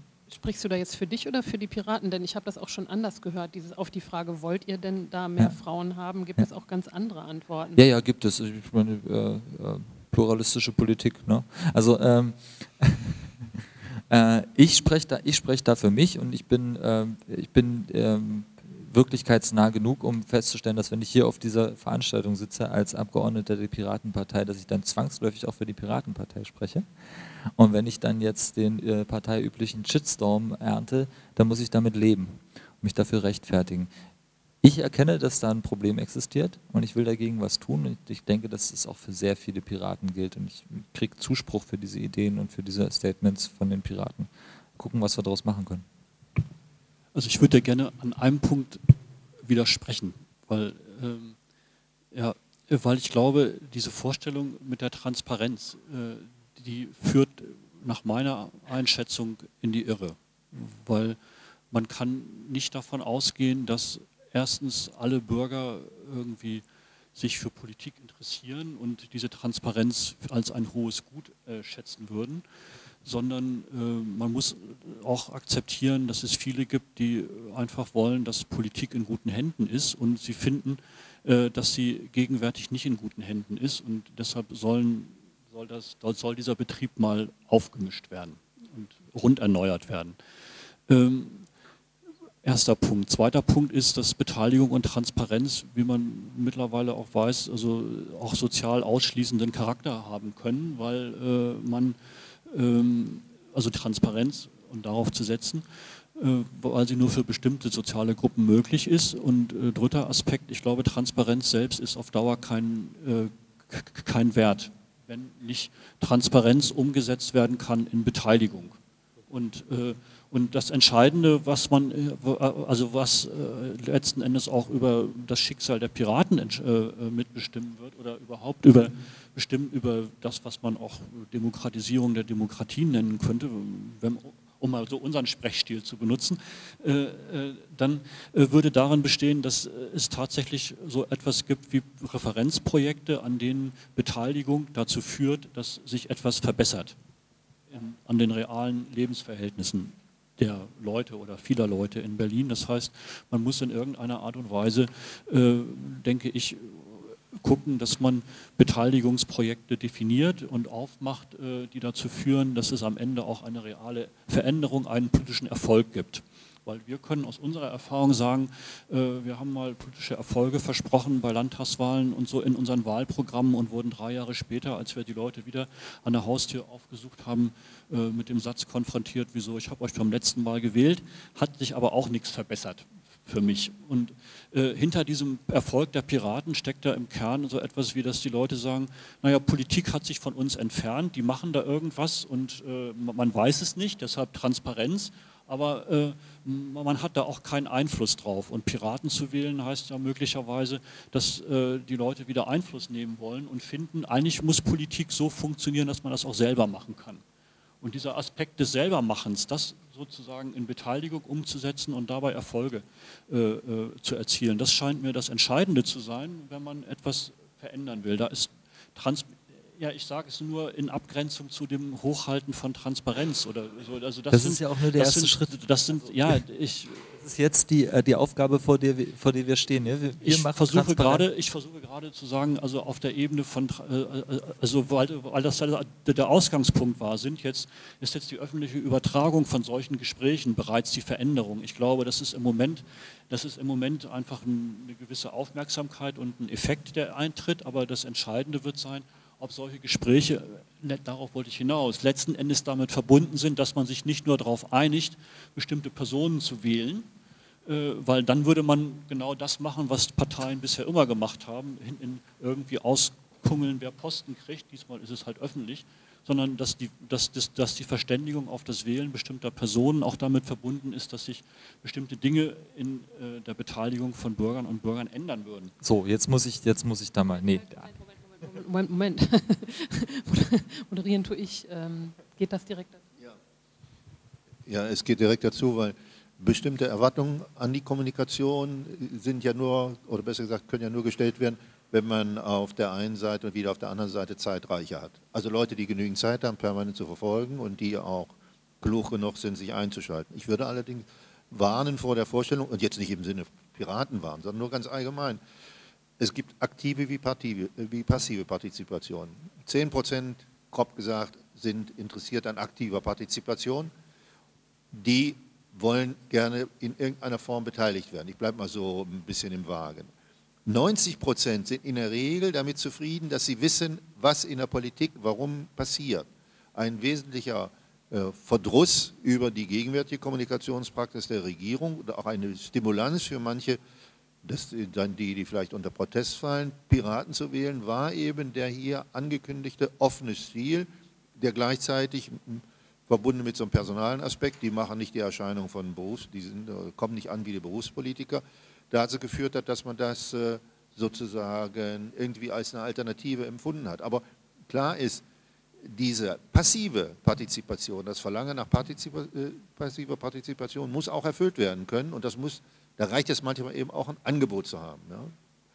Ich bin auch noch nie auf dem, Funk, auf dem Fernsehturm gewesen, solange kein Besucher kommt zu mir und sagt, geh mal darauf. Aber ich könnte jederzeit. Ja. Ähm, guter Aspekt, aber ich wollte auf jeden Fall nochmal auf auf diese, wenn man sagen, auf diese ähm, Abfolge hin zur erfolgreichen Piratenpolitik, äh, die skizziert wurde, eingehen. Natürlich, Transparenz ist das Erste. Es muss, also das ist halt der erste Schritt und er ist halt jetzt auch besonders präsent, weil wir eben diese Aufgaben haben. Und uns hat niemand damit gerechnet, dass wir annähernd 9 Prozent bekommen und in äh, Friedrichshain-Kreuzberg einen Stadtrat äh, äh, stellen könnten. Also das ist tatsächlich, das sind Aufgaben, die uns jetzt zufallen, die wir äh, erstmal nach den Grundsätzen erledigen müssen, die wir uns gegeben haben. Der, der, Punkt ist doch allerdings, ein schönes Beispiel. Ähm, nehmen wir mal einen Bürgerhaushalt. Bürgerhaushalt in einem Stadt, ja, Friedrichshain-Kreuzberg. Kannst du das kurz erklären? Äh, ja, also äh, der Teil eines, äh, eines äh, Bezirkshaushalts, der freigegeben wird für Projekte, die von Bürgern äh, äh, initiiert werden oder Initiativen, die dann am Ende der, dem Stadtrat und der, auf Empfehlung der Bezirksverordnetenversammlung vorgelegt werden, um dann durchgeführt zu werden. Also man schafft wieder Freiräume. Ja, das ist das, was ich gerade schon gesagt habe, das sind finanzielle Freiräume. Das Problem daran ist nur, dass hier natürlich keine wirkliche Beteiligung herrscht, solange sich der Stadtrat und auch die BVV-Abgeordneten äh, äh, ähm, nicht direkt auf gleicher Augenhöhe an äh, diesen äh, Sachen beteiligen. Das ist sehr schwer, das ist Zeitaspekt extrem wichtig, deswegen setzen wir auf Online-Partizipation. Aber das Beispiel, was ich skizzieren wollte, ist folgendes. Als erstes muss natürlich erstmal transparent sein, für welche Projekte werden, wird Geld ausgegeben? Wie viel Geld ist denn eigentlich da für einen Bürgerhaushalt? Das ist so der Transparenzgedanke. Da kann auch nicht jeder sich durcharbeiten, das muss man auch aufarbeiten. Dafür gibt es auch Initiativen, die sich darum kümmern. Wenn man sowas wie Open Data und eine maschinenlesbare Verwaltung äh, hat, dann wird es derer noch sehr viel mehr Visualisierung und äh, äh, Verständlichmachung von solchen komplexen Dingen wie einem Haushalt geben. Der nächste Schritt ist das Implementieren von Beteiligungsprozessen. Ne? Wir haben jetzt einen Bürgerhaushalt, den kann man verschieden implementieren, den muss man strukturiert durchdenken. Es geht jetzt dahin, auch in Friedrichshain-Kreuzberg, äh, äh, das Ganze über Online-Partizipation zu machen. So, das hat man jetzt eventuell. Dann hat man diesen äh, Antragsverfahren, das man da auch online machen kann. Das geht mit weniger Zeit und äh, man hat die Informationen gleich daneben. Man kann eventuell auch eine Diskussion zwischen verschiedenen Antragstellern darüber äh, äh machen. Das ist dann aber auch noch nicht äh, ausreichend, zumindest nicht nach piratischer Politik. Wenn ich jetzt aber hingehe und sage, in diesem Diskussionsprozess, den wir eventuell online äh, organisieren, nehmen alle BVV-Mitglieder teil oder zumindest die, die sich da reinbegeben wollen, in diesen Dschungel aus Initiativen, die sich da äh, äh um Geld kloppen und haben genauso eine Stimme äh, da drin oder genauso ein, äh, ein Votum darin, mit natürlich mehr Hintergrundwissen, aber das, das ist ja ihre Aufgabe, äh, wie alle anderen und begleiten diesen Prozess live. Und das ist ja das Versprechen, das wir machen. Also das ist genau der Punkt, der, der Unterschied, den wir, das, was wir wirklich versprechen können. Wir begeben uns in diese Prozesse mit rein. Das ist auch eine äh, Ausgestaltung dieses Freiraumgedankens, den ich gerade habe. Dann wird Folgendes, und das ist jetzt die Glaskugel, die ich aufmache, dann wird Folgendes passieren, dass die Leute tatsächlich sich daran beteiligen. Wir haben so, solche Modelle in Münster zum Beispiel, das ist jetzt, passt halt zu dem Bürgerhaushalt, in Münster zum Beispiel, wo ein Online-Abstimmungssystem über diese Bürgerhaushalt, also als Empfehlung, ne, geht ja nicht, ähm, das äh, verpflichtend zu machen, aber äh, ein Online-Abstimmungssystem, wo tatsächlich die Entscheidungsträger auch eine Stimme haben, und zwar nur eine.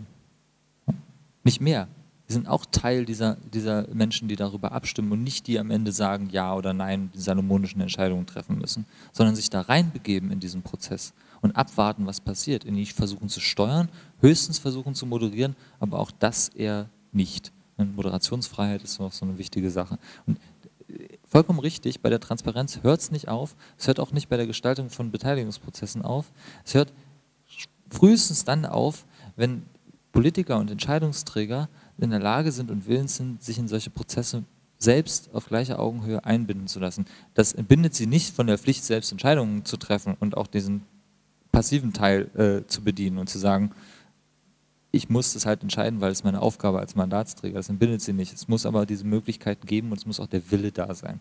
Und das versprechen die Piraten und das können wir auch machen. Ähm, wir unterhalten uns jetzt hier schon etwas über eine Stunde. Ähm, ich hätte jetzt noch zwei Fragen, äh, die ich gerne stellen möchte, in der Hoffnung, dass äh, die Antworten wieder so tendenziell so ein bisschen kürzer ausfallen. Der Politiker an und für sich spricht ja gern lang, aber ähm, also die zwei Fragen noch und dann äh, würde ich sagen, wenn dann Anmerkungen und Fragen aus dem Publikum sind, hier sind nämlich viele Mücken, ähm, dann äh, können die auch gern gestellt werden. Da kann also gerne schon mal drüber nachgedacht werden. Äh, Frage Nummer eins. Äh, der Berliner Landesverband der Piraten äh, gilt gemeinhin als relativ links. Ähm, die Piraten haben in ihrer Vergangenheit schon das eine oder andere Problem mit Leuten gehabt, die eher weit rechts anzusiedeln sind. Ist, gibt es die noch? gibt es dieses Problem noch? Wie gehen Piraten mit Rechtsradikalen in ihren Reihen um? ähm, kurz, verächtlich. Ähm, also auch im, im Rest des Bundesgebiets. Dieses Problem existiert noch und ich würde sagen, das ist die letzte Hürde, die wir nehmen müssen, um eine vernünftige Parteiorganisation zu werden, nämlich in der Lage zu sein, Leute zeitnah rauszuschmeißen, wenn sie Blödsinn legen.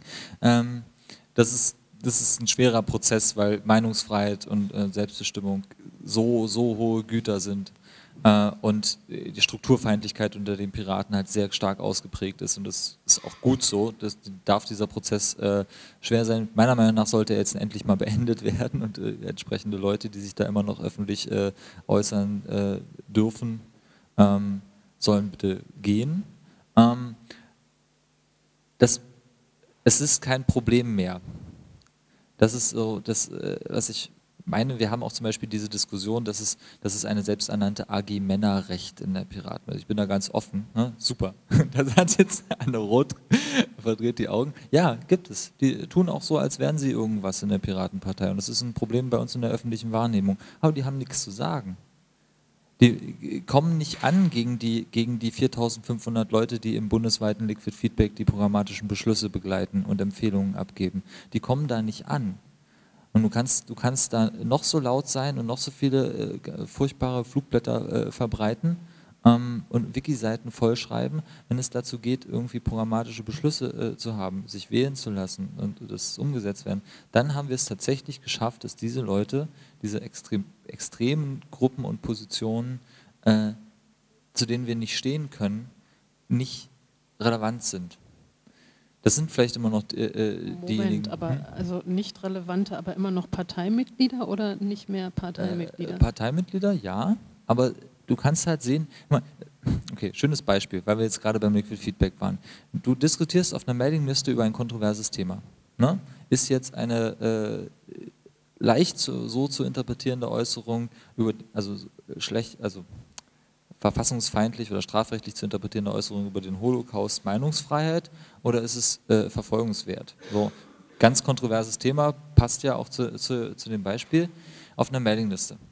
Meldet sich jemand und sagt, das ist furchtbar, das geht nicht, das können wir nicht machen und so weiter und so fort, triggert sofort denjenigen, der genau die Gegenteile, äh, gegenteilige Position hat. Und du kannst diesen Prozess begleiten, du kannst ihn über Jahre dir einfach angucken, diesen Mailinglisten-Schreib, wenn er sich, und du hast den Eindruck, dass es 50-50 steht dass die extremen Positionen, die da drin formuliert werden, halt wirklich ein Gewicht haben.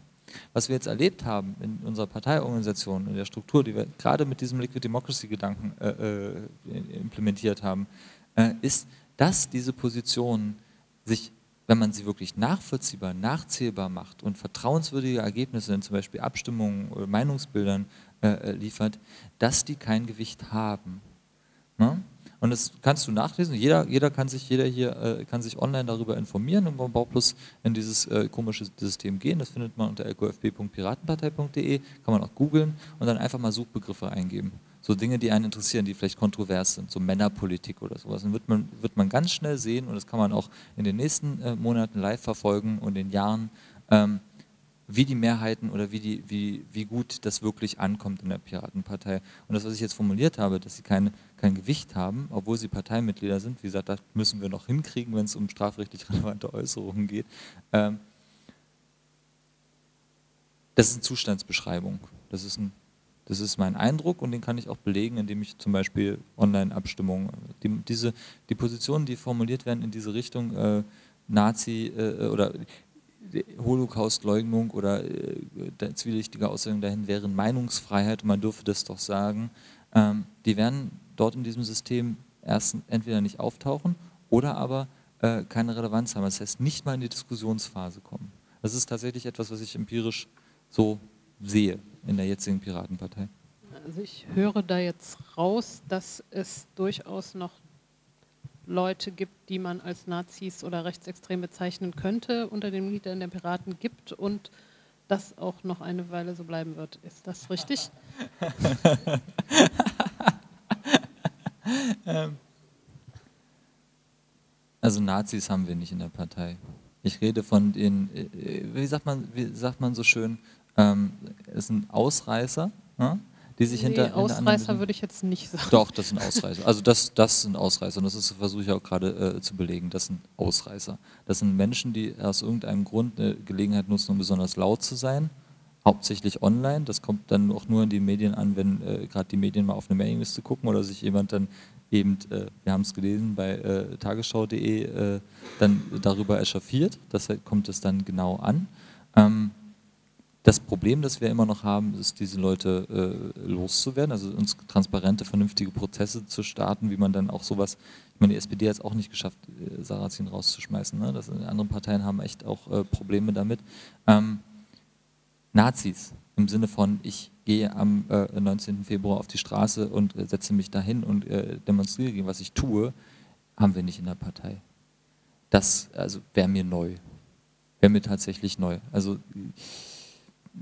wir werden da ein Auge drauf behalten. Ähm, zweite Frage, jetzt vielleicht wieder ähm, an Gero Neugebauer, aber auch an alle anderen, die das gerne beantworten wollen. Ähm, was so ein bisschen als ähm, massiver Stolperstein für die Grünen, auch für die Alt-68er gesehen wird, äh, in ihrem Versuch, äh, das System zu verändern und die Welt zu revolutionieren, wird gemeinhin unter der Überschrift Marsch durch die Institutionen gefasst. Bei den Piraten höre ich jetzt bei zum Beispiel Begriffen wie professionalisieren oder wir wollen keine Frontalopposition so ein bisschen sowas raus wie den gezielten Marsch durch die Institutionen. Kann das gut gehen? Ja, das kann gut gehen. Es kann deshalb gut gehen, weil die Institutionen, es gibt zurzeit einen ziemlich großen Institutionszweifel. Wir haben seit 1980, können wir feststellen, dass das, was sozusagen Interessen der etablierten Politik und Politiker und Übereinstimmung mit den Interessen der Bürger nicht mehr so hinhaut, dass dieser Vertretungsanspruch durchgesetzt wird. Wenn eine Partei sagt, wir verbinden mit unserem politischen Inhalt auch neue Partizipationsformen und wir verändern dadurch auch die Institutionen, kann das durchaus gehen, aber sie müssen Verbündete finden. Und es gibt Leute in anderen Parteien, die aus Frust über die gegenwärtige Situation ihrer Partei sagen, äh, suche ich mal nach Verbündeten. Und das kann man finden. Das passiert natürlich wesentlich besser in sozialen Bewegungen als in Parteien, aber gut, die Piraten sind im Parlament, da müssen wir die Auseinandersetzung aufnehmen und das beginnt ganz klein damit, dass man so weit anfängt, aber ich würde schon sagen, kann passieren. Müsste auch passieren, um einen Teil der Politikverdrossenheit zu beseitigen. Also ich glaube, also das, äh, der Marsch durch die Institutionen, den die Grünen mal begonnen haben, obwohl der Satz ja noch älter ist als die, als die Grünen und die Gründung der Grünen ja eigentlich schon ein wichtiger Schritt äh, auf dem Marsch war. Äh, dass ja nicht so erfolglos gewesen ist, wie gemeinhin getan wird, sondern sie war, ja auch in vieler Hinsicht erfolgreich, wenn ich mich daran erinnere, was es in den 70er Jahren noch für Gesetze gab, unter denen man groß geworden ist und wie die Gesetzgebung, was Lebensweisen und ähnliche Dinge betrifft, heute ist, dann muss man sagen, da hat sich viel geändert, was auch mit diesem Marsch durch die Institutionen zu tun hat, was man allein auch daran erkennen kann, dass in diesen Institutionen ja teilweise ganz andere Leute sitzen, andere Verhaltensweisen vorherrschen, als noch aus der äh, von der Nazi-Bürokratie mitgeprägten obrigkeitsstaatlichen Tradition der 60er und 70er Jahre. Also ich will das nicht, ich würde, das, ich würde dann mit dem Satz nicht so abschätzig umgehen, wie ich das eben so rausgehört habe. Und ich glaube, es gibt, einen, es gibt einen, noch einen zweiten wichtigen Unterschied, der mit, was mit dem zu tun hat, was ich anfänglich gesagt habe. Als die Grünen anfingen, und auch sowas wie Basisdemokratie gesetzt haben und halt Rotationsprinzip, was sie ja immerhin sechs Jahre durchgehalten haben, alle zwei Jahre ihre Abgeordneten im Bundestag auszutauschen. Ähm, da gab es noch so, eine, so ein Institut wie Basisversammlungen und Pläne. Da ist man hingegangen und das war total anstrengend, weil man ging auf eine soziale Situation, gewonnen haben immer die, die am besten reden konnten, in der Regel Männer. Äh, äh, es, und Frauen mussten sich das erkämpfen. Es gab eine große schweigende Gruppe auf diesen Veranstaltungen, die nie was gesagt haben, die nie zu Wort gekommen sind, äh, die sich sozusagen irgendwo dann zugeordnet haben und dann zu Hause geblieben sind. Ich glaube, dass also das, was wir heute an Kommunikationstechniken haben und Möglichkeiten, wenn man das intelligent einsetzt und gestaltet, dass man dann in der Tat es schaffen kann, erstens auch Leute an solchen Prozessen zu beteiligen, ohne dass sie sich auf solche Basisversammlungen begeben müssen, mit, der ganzen, äh, also mit dem ganzen sozialen Druck und so weiter, der darum entstehen kann. Also dass Demokratiebeteiligung einfacher wird, aber auch gezielter und orientierter ausgeübt werden kann, wenn man es intelligent anfängt.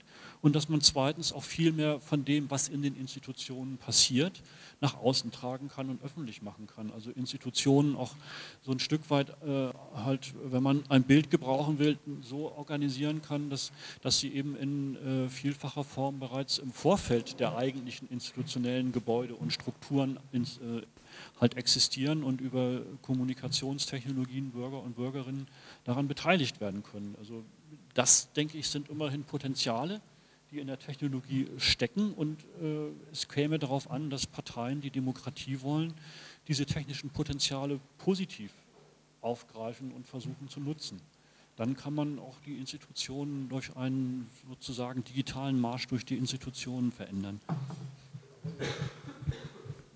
Nur ein, Halb, ein Halbsatz dazu, aber eben auch neue Verfahren wählen in der Demokratie. Also die Diskussion und auch das Losverfahren oder Leute einfach Positionen auswürfeln, was zum Beispiel verhindert, hilft zu verhindern, dass sich Clans oder Klicken bilden. Wenn es nie sicher sein kann, kriege ich nun dadurch, dass ich gezielte Eintritte, Mitglieder bewege, diesen Posten oder solche Verfahren auch mal. Das könnte eine Lösung für unsere Personaldiskussion sein, das Losverfahren. interessant, interessant. Genau, und jetzt werden wir auch partizipativer. Jetzt sind die zwei Fragen zumindest mal angerissen und meine Frage geht jetzt ins Publikum, ob es Kommentare zu dem bisher Gesagten gibt oder Fragen, die wir noch nicht gestellt haben. Und irgendjemand müsste jetzt mal ein Mikro tragen. Ja, zwei Fragen. Äh, ich hätte gern gewusst, äh, was haben Sie vorher gewählt, bevor die Piratenpartei äh, sich etabliert hat? Und die zweite Frage ist die, denken Sie vielleicht nicht auch mit den Äußerungen, die Sie gemacht haben, dass Sie relativ nah bei den linken Themen ja sind, wie Sie selber bestätigt haben, dass Sie durch die Gründung der Piratenpartei die Linken geschwächt haben. Ja, also ich muss dann äh, zugeben, soweit ich mich erinnern kann, habe ich sehr oft Grün gewählt. Ähm, ich muss dazu sagen, ist am Anfang. Nee, nee, nee, nee, äh, ich überlege gerade, ob ich dann tatsächlich, ich habe ich hab mal äh, überlegt, äh, da habe ich noch in Brandenburg gewohnt, ähm, SPD zu wählen, aus dem äh, Grund, ich ähm, habe persönliche Kontakte zu Matthias Platzek über meine, die Vergangenheit meiner Eltern gehabt, später zum Flugscharen, Kurt Masur und solche, bin dann aber äh, krass enttäuscht worden von diesem Menschen, diesem Opportunisten. Ähm, deswegen habe ich gerade überlegt, ob ich, ich habe meistens Grün gewählt, ich habe auch, glaube ich, einmal äh, die Linkspartei gewählt. Ähm, und ja, wir schwächen die Linkspartei damit. Und das ist aber auch gut so. Denn die Linkspartei, äh, da fühle ich mich, ich bin mit 14 habe ich angefangen, Anti-Nazi-Demos in Brandenburg in Halbe zu organisieren. Bin ganz aktiver äh, linker Hochschulpolitiker gewesen, äh, vier Jahre lang. Ich habe mich nie vertreten gefühlt von dieser Partei. Ja? Vielleicht, vielleicht, wenn ich irgendwann mal die Muße gehabt hätte, mich da wirklich mit einzufinden in, in, die Strukturen und so, dann kann ich mir das vielleicht vorstellen, weil der linke Gedanke ist auch bei mir ziemlich, also der soziale Gedanke möchte ich es mal vielleicht nennen, ist bei mir sehr ausgeprägt. Ähm, aber ich habe nie die Muße gehabt und nie das attraktiv gefunden. Ähm, vielleicht hilft ja die Piratenpartei äh, äh, den Linken ein bisschen dabei, dass äh, für Leute wie mich das dann auch äh, also nicht mehr ich jetzt, aber Leute, die dann nachkommen, die sich dann da vielleicht mehr äh, äh, bestätigt fühlen in ihren linken Positionen. Also die Piraten sind ja nicht gegründet worden, um die Linken schwach zu machen. Und, und in, insofern ja, es wäre ja was anderes, wenn, äh, wenn, es, wenn es eine Parteigründung mit dem erklärten Ziel gewesen wäre. Dann müsste man da anders mit umgehen. Äh, und, und, und ich glaube äh, einfach, dass die Piraten, oder ich, ich sage es mal andersherum, ich bin in gewisser Weise durchaus erfreut, dass es die Piraten gibt, weil damit Themen auf die politische Agenda kommen, die, die wichtige Themen sind, was auch linke Themen sind, die nicht unbedingt von der Partei Die Linke vertreten werden, aber was linke äh, Themen sind. Und wenn man sich anguckt, wie in anderen großen Städten in Deutschland in den letzten 10, 20 Jahren sich Unzufriedenheit äh, im Wahlverhalten ausgedrückt hat mit der etablierten Politik, also Stichwort Hamburg, Schildpartei oder andere Dinge, dann können wir eigentlich darüber froh sein, dass es in Berlin irgendwie so etwas gibt wie die Piratenpartei, weil äh, die nun irgendwie gerade für Werte steht, die sehr demokratisch sind und nicht so tendenziell rechtspopulistisch undemokratisch. Also insofern fühle ich, sehe ich mich als Vertreter der Linken auch nicht jetzt in meiner Existenz durch die Piraten bedroht, sondern äh, bin eigentlich eher froh darüber, dass es sie gibt. Ähm, ich, ich, weiß, dass da eine Wortmeldung ist. Ich würde da gerne kurz nachhaken. Dann hat sich da drüben noch jemand gemeldet, aber da ist vorher noch jemand dran. Ich habe es gesehen. Ähm, die Piraten sind nicht gegründet worden, um die Linke zu schwächen. Es hat aber kurz vor der Wahl, ich würde sagen so etwa zwei Wochen vor der Wahl in Berlin, jemand äh, aus dem linken Kontext getwittert und das fand ich nicht falsch. Äh, der sagte, seit die äh, Presse gemerkt hat, dass, sie, dass sie durch das Hochschreiben der Piraten die Linke aus der Regierung kegeln kann, gibt es kein Halten mehr. Ähm, Medienschelte bei der Linken sollte man, glaube ich, vorsichtig betreiben, aber trotzdem würde mich doch die Einschätzung dazu interessieren. Also, äh, dass die Berliner Medien von äh, zehn Jahren rot-rot genug hatten, äh, wusste man schon, konnte man schon seit Anfang des Jahres feststellen, weil also also halt Senatoren von uns äh, in, äh, mit Dingen, mit denen sie vorher noch in den Medien kamen, nicht mehr in die Medien gekommen sind und sich die ganze Berichterstattung verändert hat, weil die Medien davon bestimmt waren, dass Renate Künast, ob sie Klaus Wowereit schlagen kann. Und da kamen wir als gar nicht mehr vor. Und die ganze Grundstimmung ging eigentlich in Richtung, es wird einen Wechsel geben, es wird Rot-Grün geben. Und die Frage ist, wird es vielleicht Grün-Rot? So, und das, das war das, was, äh, was von den Medien äh, kommuniziert worden ist. Und dann ist richtig, irgendwann haben sie gemerkt, plötzlich die Piraten kommen, kommen rein. Die Berliner Zeitung hat ihre Veranstaltungsreihe noch um einen Termin mit den Piraten verlängert und es wurde entsprechend geschrieben und es war auch klar, wenn die Piraten es schaffen, wird es auf jeden Fall für Rot-Rot nicht mehr reichen. So, äh, das, ob die ob und inwieweit es herbeigeschrieben worden ist, bewusst ist dann so eine Sache, da kann man viel drüber äh, spekulieren. Ich gehöre nicht zu denen, die darüber spekulieren, sondern ich sage, das folgt gewissen Gesetzen äh, der Medienökonomie und der medialen Aufmerksamkeitslogik, weil die müssen ja immer auch irgendwie spannend sein und ihren Lesern was bieten. Und die Nachricht, dass die Piraten da was bewirken, war irgendwann die neue Nachricht und, und die wurde entsprechend in den Medien transportiert und, äh, und gehypt. Nur so, dass die Piraten erfolgreich sind, dafür konnten sie ja nichts. Also also, das, also ich meine, das kann man in dem, dafür konnten sie was, aber das kann man ihnen ja nicht vorwerfen. Also äh, so, und äh, mit, den, mit den Gesetzen der Medienökonomie leben wir alle. Wir als Linke haben, haben es erlebt, also dass wir irgendwie 2005, 2009 in den Medien immer relativ gut behandelt worden sind und es eben die spannende Frage war, kommen wir rein 2005 und deshalb wurde viel über uns berichtet, ähnlich wie jetzt über die Piraten. Und äh, 2009 äh, war eine ähnliche Situation, wie schneiden wir im Verhältnis zur SPD ab. Sind wir gut bei weggekommen, diesmal nicht, also so ist das halt.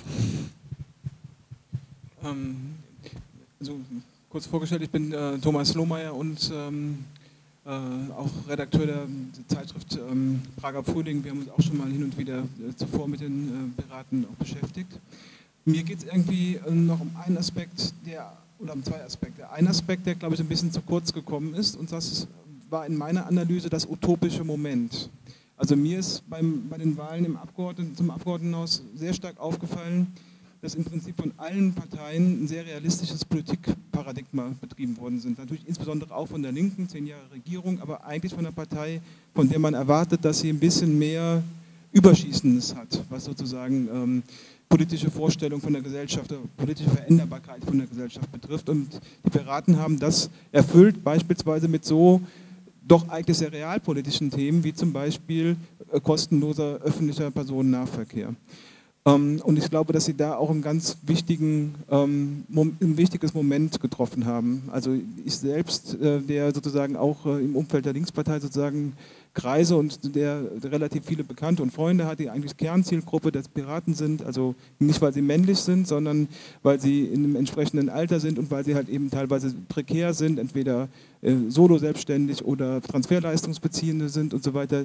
Ich glaube, in meinem Freundeskreis und in meiner Agentur oder so ist ungefähr die Wahlquote der Partei, die sonst eigentlich immer Linkspartei gewählt haben, ähm, ungefähr bei 90 Prozent. Und das sagt halt eben auch was aus. Und die die haben mit Sicherheit auch von diesem, äh, ich sage es mal, utopischen Moment auf jeden Fall sich auf jeden Fall sehr angesprochen. Und der zweite Punkt ist eigentlich der, und da würde ich eigentlich, glaube ich, eher ein Metathema sehen, vielleicht kann da Horst Kaas oder Gero Neugebauer noch was zu sagen.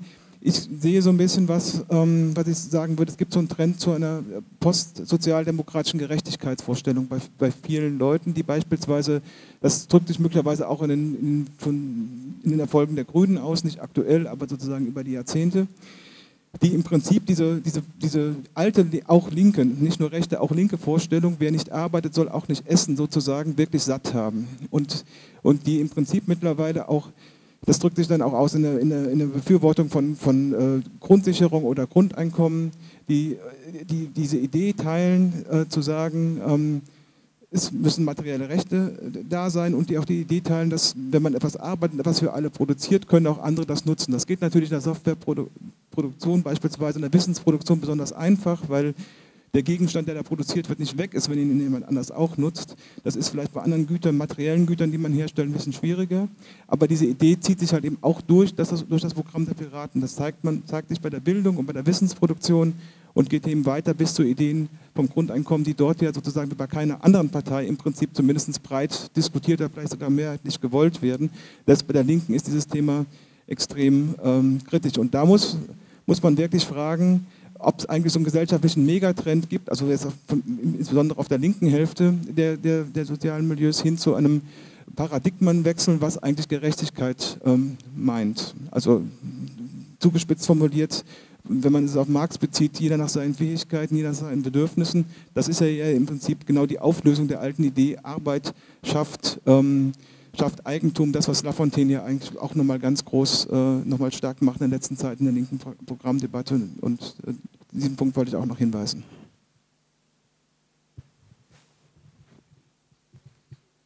Ähm, also in, äh, zu dem letzten Punkt kann ich nur sagen, äh, ja, äh, ich glaube, glaub, das gehört ja so ein bisschen mit zu meinen Beschreibungen, warum die Piraten in bestimmten äh, Wählerschichten so erfolgreich gewesen sind und äh, wir eher nicht, weil es da genau aufgrund von veränderter Lebensweise und ähnlichen damit zusammenhängend auch Einstellungen, ein anderes Verhältnis zur Arbeit, genau diesem Wandel in der Vorstellung von Sozialstaat, was sind notwendige Gemeingüter, wie kann man da, also wie werden sie einem zuteil äh, und so, welche Rolle spielt da Arbeit, äh, weil es genau diese Debatten gibt und weil sich da auch in der Gesellschaft etwas verändert. Aber das ist ein, das ist ein, ein, ein Prozess, der ist äh, nicht eindeutig, sondern er, oder er ist insofern eindeutig, als er getragen wird von bestimmten sozialen Gruppen, Milieus und Schichten. Äh, meinetwegen, äh, also um es etwas zugespitzt zu sagen, er wird getragen von den ungefähr 1 Million äh, Beschäftigten, die der berühmte Kreativsektor hat, aber der wird nicht getragen von den 800.000 Beschäftigten, die der Automobilsektor noch hat. Und so könnte man das im Grunde genommen äh, fortsetzen, diese, diese Debatte. Und ich glaube, das ist so, dass keine, das war, ist meine These, dass keine existierende Partei, die unter diesem des alten Gerechtigkeitsbegriffs groß geworden ist, in der Lage ist, äh, diese, diesen Prozess in eine oder andere Richtung aufzulösen. Die existierenden Parteien werden den immer in, irgendwo aushandeln müssen und Kompromisse finden müssen, zwischen, weil sie sonst äh, alte Wählerschichten verlieren werden. Deshalb halt ein notwendiger Schritt äh, in so einem Prozess sich verändernder Gerechtigkeitsvorstellungen, dass es dafür eine eigene Partei gibt. So denke ich, kann man die gegenwärtige Situation interpretieren. Wie das in fünf oder sechs Jahren sein wird, ist eine andere Frage. Ähm, und was die erste Frage betrifft, ja, also ich habe das in meiner Wahlanalyse mit Benny Hoff auch geschrieben. Also der Wahlkampf in Berlin war eigentlich ziemlich langweilig. Es gab keine Partei, die irgendeine Idee hatte für die Stadt, äh, was man mit Berlin machen könnte, was, ein Entwicklungsziel der Stadt sein könnte oder, oder ähnliches, was man unter Utopie äh, fassen könnte, sondern alle haben so einen Wahlkampf, Moment, alle haben, haben einen Wahlkampf gemacht, äh, der Parteien, die im Abgeordnetenhaus waren, der, äh, der darauf hinauslief, dass man hier und da ein besseres fachliches Konzept eigentlich hatte für die und die Probleme. Und dann kamen irgendwann die Piraten und das sprach sich herum, das ist eine Partei, äh, die will eigentlich irgendwie frischen Wind da reinbringen, die hat nochmal Vorstellungen, alles anders zu machen. Die hat auch ein paar Ideen, die eigentlich äh, auf der Straße liegen, die man sich als Linker nur nicht mehr traut. Also ich meine, diese Geschichte mit dem kostenlosen Nahverkehr ist eine, ist eine alte linke Forderung. Ich war selber noch auf, äh, auf Demonstrationen in den 70er Jahren für, äh, den, äh, also für den Nulltarif und irgendwann ist diese Forderung den Linken abhanden gekommen und realpolitisch wegsozialisiert worden. Und äh, ja, komm. Ja, bitte. Es ist gerade zu lustig. Ähm, es ist eigentlich traurig, dass äh, eine Idee, äh, fahrscheinlos bitte, ich muss das nochmal, äh, es ist ja nicht, es kostet doch trotzdem Leute. Ähm, aber äh, dass eine Idee wie der fahrscheinlose ÖPNV, das ungefähr so spannend ist wie äh, öffentlich-rechtliches Fernsehen, heutzutage als äh, Utopie gilt. Die, also die, die FDP hat das mal gefordert in Berlin. Äh, wisst ihr das? Also äh, Anfang der 80er Jahre. Das ist halt, das ist nicht neu. Dass man sowas heutzutage als Utopie bezeichnet, das spricht nicht unbedingt für gegenwärtige politische Verhältnisse. Also äh, ich sehe das ganz genauso, wie du es beschrieben hast. Es sind halt Stellschrauben, da wird der, der Motor, der rattert und rüttelt und kommt nicht mehr voran und es wird äh, an der Stellschraube gedreht, statt mal einen neuen Motor einzubauen. Also das ist, ähm, das ist so das Thema, das passt schon ziemlich gut. Ich muss dem, was Thomas gesagt hat, auch zustimmen. Die Schwierigkeit des Umgangs mit dem Gerechtigkeitsbegriff zeigt sich Einerseits darin, dass manche Leute meinen, äh, man könnte ihn durch Fairness ersetzen, während andere anfangen zu differenzieren, und zwar jetzt nicht sozusagen nach Teilgerechtigkeiten wie Chancengerechtigkeit, Geschlechtergerechtigkeit, sondern die sagen, Gerechtigkeit stellt sich in den Politikfeldern sehr unterschiedlich dar. Familienpolitik muss mit einem anderen Gerechtigkeitsbegriff operieren als Bildungspolitik oder Sozialpolitik. Und äh, da gibt es allerdings noch genügend Kontroversen und ich denke mir, das könnte, ich meine, wenn man drauf guckt, es gibt zwei Parteien in Berlin, die wegen des äh, hohen Werts soziale Gerechtigkeit gewählt werden, Sozialdemokratie und Linke. Aber wenn man sie dann sieht, wie sich konkret in manchen Feldern begegnen, wo da unterschiedliche Vorstellungen verknüpft werden, ja, dann denke ich, dass dies naja, vielleicht auch ein Opfer der Vielfalt wird. Also den Gerechtigkeitsbegriff, den gibt es mit Sicherheit nicht. Die Schwierigkeit ist auch, keine Partei zu gründen, die dann sagt, wir vertreten das Konzept soziale Gerechtigkeit. Das konnte man, glaube ich, früher noch, als dieser Kapital, Arbeit, Konflikt dominierend war und sich auch politisch organisieren ließ. Äh, dafür sehe ich im Moment kaum Chancen. Und jetzt noch die Wortmeldung dort. Äh, ich habe mir vorhin so überlegt, wie ist das, wenn man ein Wahlprogramm äh, hier ein, ein Wahlprogramm aufstellt? Wie, macht, äh, wie wird das äh, überlegt, wie das bei den Piraten sein soll unter diesen Gesichtspunkten? Wie werdet ihr die Themen reinnehmen in dieses Wahlprogramm? Also damit würde ich schließen. Dankeschön. Äh, ja, das ist natürlich nicht so einfach. Ne? Äh, äh, es gibt halt kein äh, Gremium, was sagt, äh, so jetzt machen wir ein Programm. Ne? So. Ähm, was aber passiert ist, weil wir, wir versuchen halt immer Freiräume zu schaffen. Ne? So, wo, wo wir auch nicht vorgeben, was da entstehen soll. So organisatorische, äh, äh, finanzielle, zeitliche Freiräume. Und was halt passiert, ich glaube, das Beispiel, was ich bringen kann, passt ganz gut. Bei unserer Wahlparty alle waren im Freudentaumel. Ich mich äh, an, der, an der Bar zwischen irgendwie 100.000 Interviews mit einem Rollstuhlfahrer äh, unterhalten. Und äh, der sagte, ich finde euch toll, ich finde euch super, aber Behindertenpolitik könnt ihr nicht. Totale Scheiße. Finde ich blöd. Ich sagte, ja, tut uns leid, wir sind halt so gut, wie irgendwie die Mitglieder äh, was machen können. wir haben leider nicht viele Rollstuhlfahrer in der Partei. So ein paar haben wir, aber in Berlin halt leider nicht. Da hat er so, ja, deswegen habe ich beschlossen, bei euch einzutreten. Wir machen das jetzt. Ich mache das für euch. Ich habe Ahnung, ich will mich da einbringen und ich sehe, dass ich das bei euch tun kann. Ich habe jetzt schon mich mit drei Leuten auf dieser Party unterhalten und die machen mit. Die finden das gut. Treffen uns jetzt nächste Woche das erste Mal. Und ähm, wir müssen natürlich den Prozess aus diesen ersten Treffen und aus den Ideen dann hin zu einem Parteitagsbeschluss, den müssen wir natürlich irgendwie modellieren, sodass der offen ist und dass die Leute da immer dran teilnehmen. Das ist schwierig, aber das geht offensichtlich in der Piratenpartei. Und den letzt, letzte, äh, nicht letzte Woche, äh, Montag habe ich ihn äh, zufällig wieder getroffen und er meint so, ja, super, ich bin noch nicht mal Mitglied. Wir haben gerade eine Mitgliederschwemme, wir arbeiten die nicht schnell genug ab, dass sie, äh, dass sie dann rechtzeitig irgendwie Parteimitgliedschaft haben. Ich bin noch nicht mal Mitglied, aber wir haben schon einen Text geschrieben, das steht schon bei euch im Wiki. Wir werden jetzt gucken, dass wir das äh, bei der nächsten Landesmitgliederversammlung äh, äh, einbringen und äh, funktioniert offensichtlich. Finde ich großartig, finde ich ein tolles Geschenk. Ich habe mich wahnsinnig gefreut, dass ich das gehört habe von dem Mann bei der Wahlparty, mehr noch als über das Wahlergebnis. Ähm, vielen Dank für die Anmerkungen und Kommentare. Ich hoffe, dass äh, die Linke wie die Piraten sich das zu Herzen nehmen. Ähm, ich bin sicher, sie werden. Eine organisatorische Anmerkung noch, das habe ich vergessen am Anfang zu erwähnen, die, die Veranstaltung ist aufgezeichnet worden. Das ist sicherlich niemandem verborgen geblieben, wird demnächst im YouTube-Kanal der Rosa-Luxemburg-Stiftung zu sehen sein. Falls irgendwer von den, äh, aus dem Publikum da gerne nicht mit erscheinen möchte, dann wäre jetzt gleich der Moment, das zu sagen. Ansonsten möchte ich mich äh, nochmal bedanken bei der Stiftung für Idee und Organisation, bei der Technik äh, für das Handling, bei den dreien auf dem äh, na, Panel, kann man jetzt sagen, hier am Tisch äh, für die Beiträge und äh, wünsche dann hiermit einen angenehmen weiteren Abend.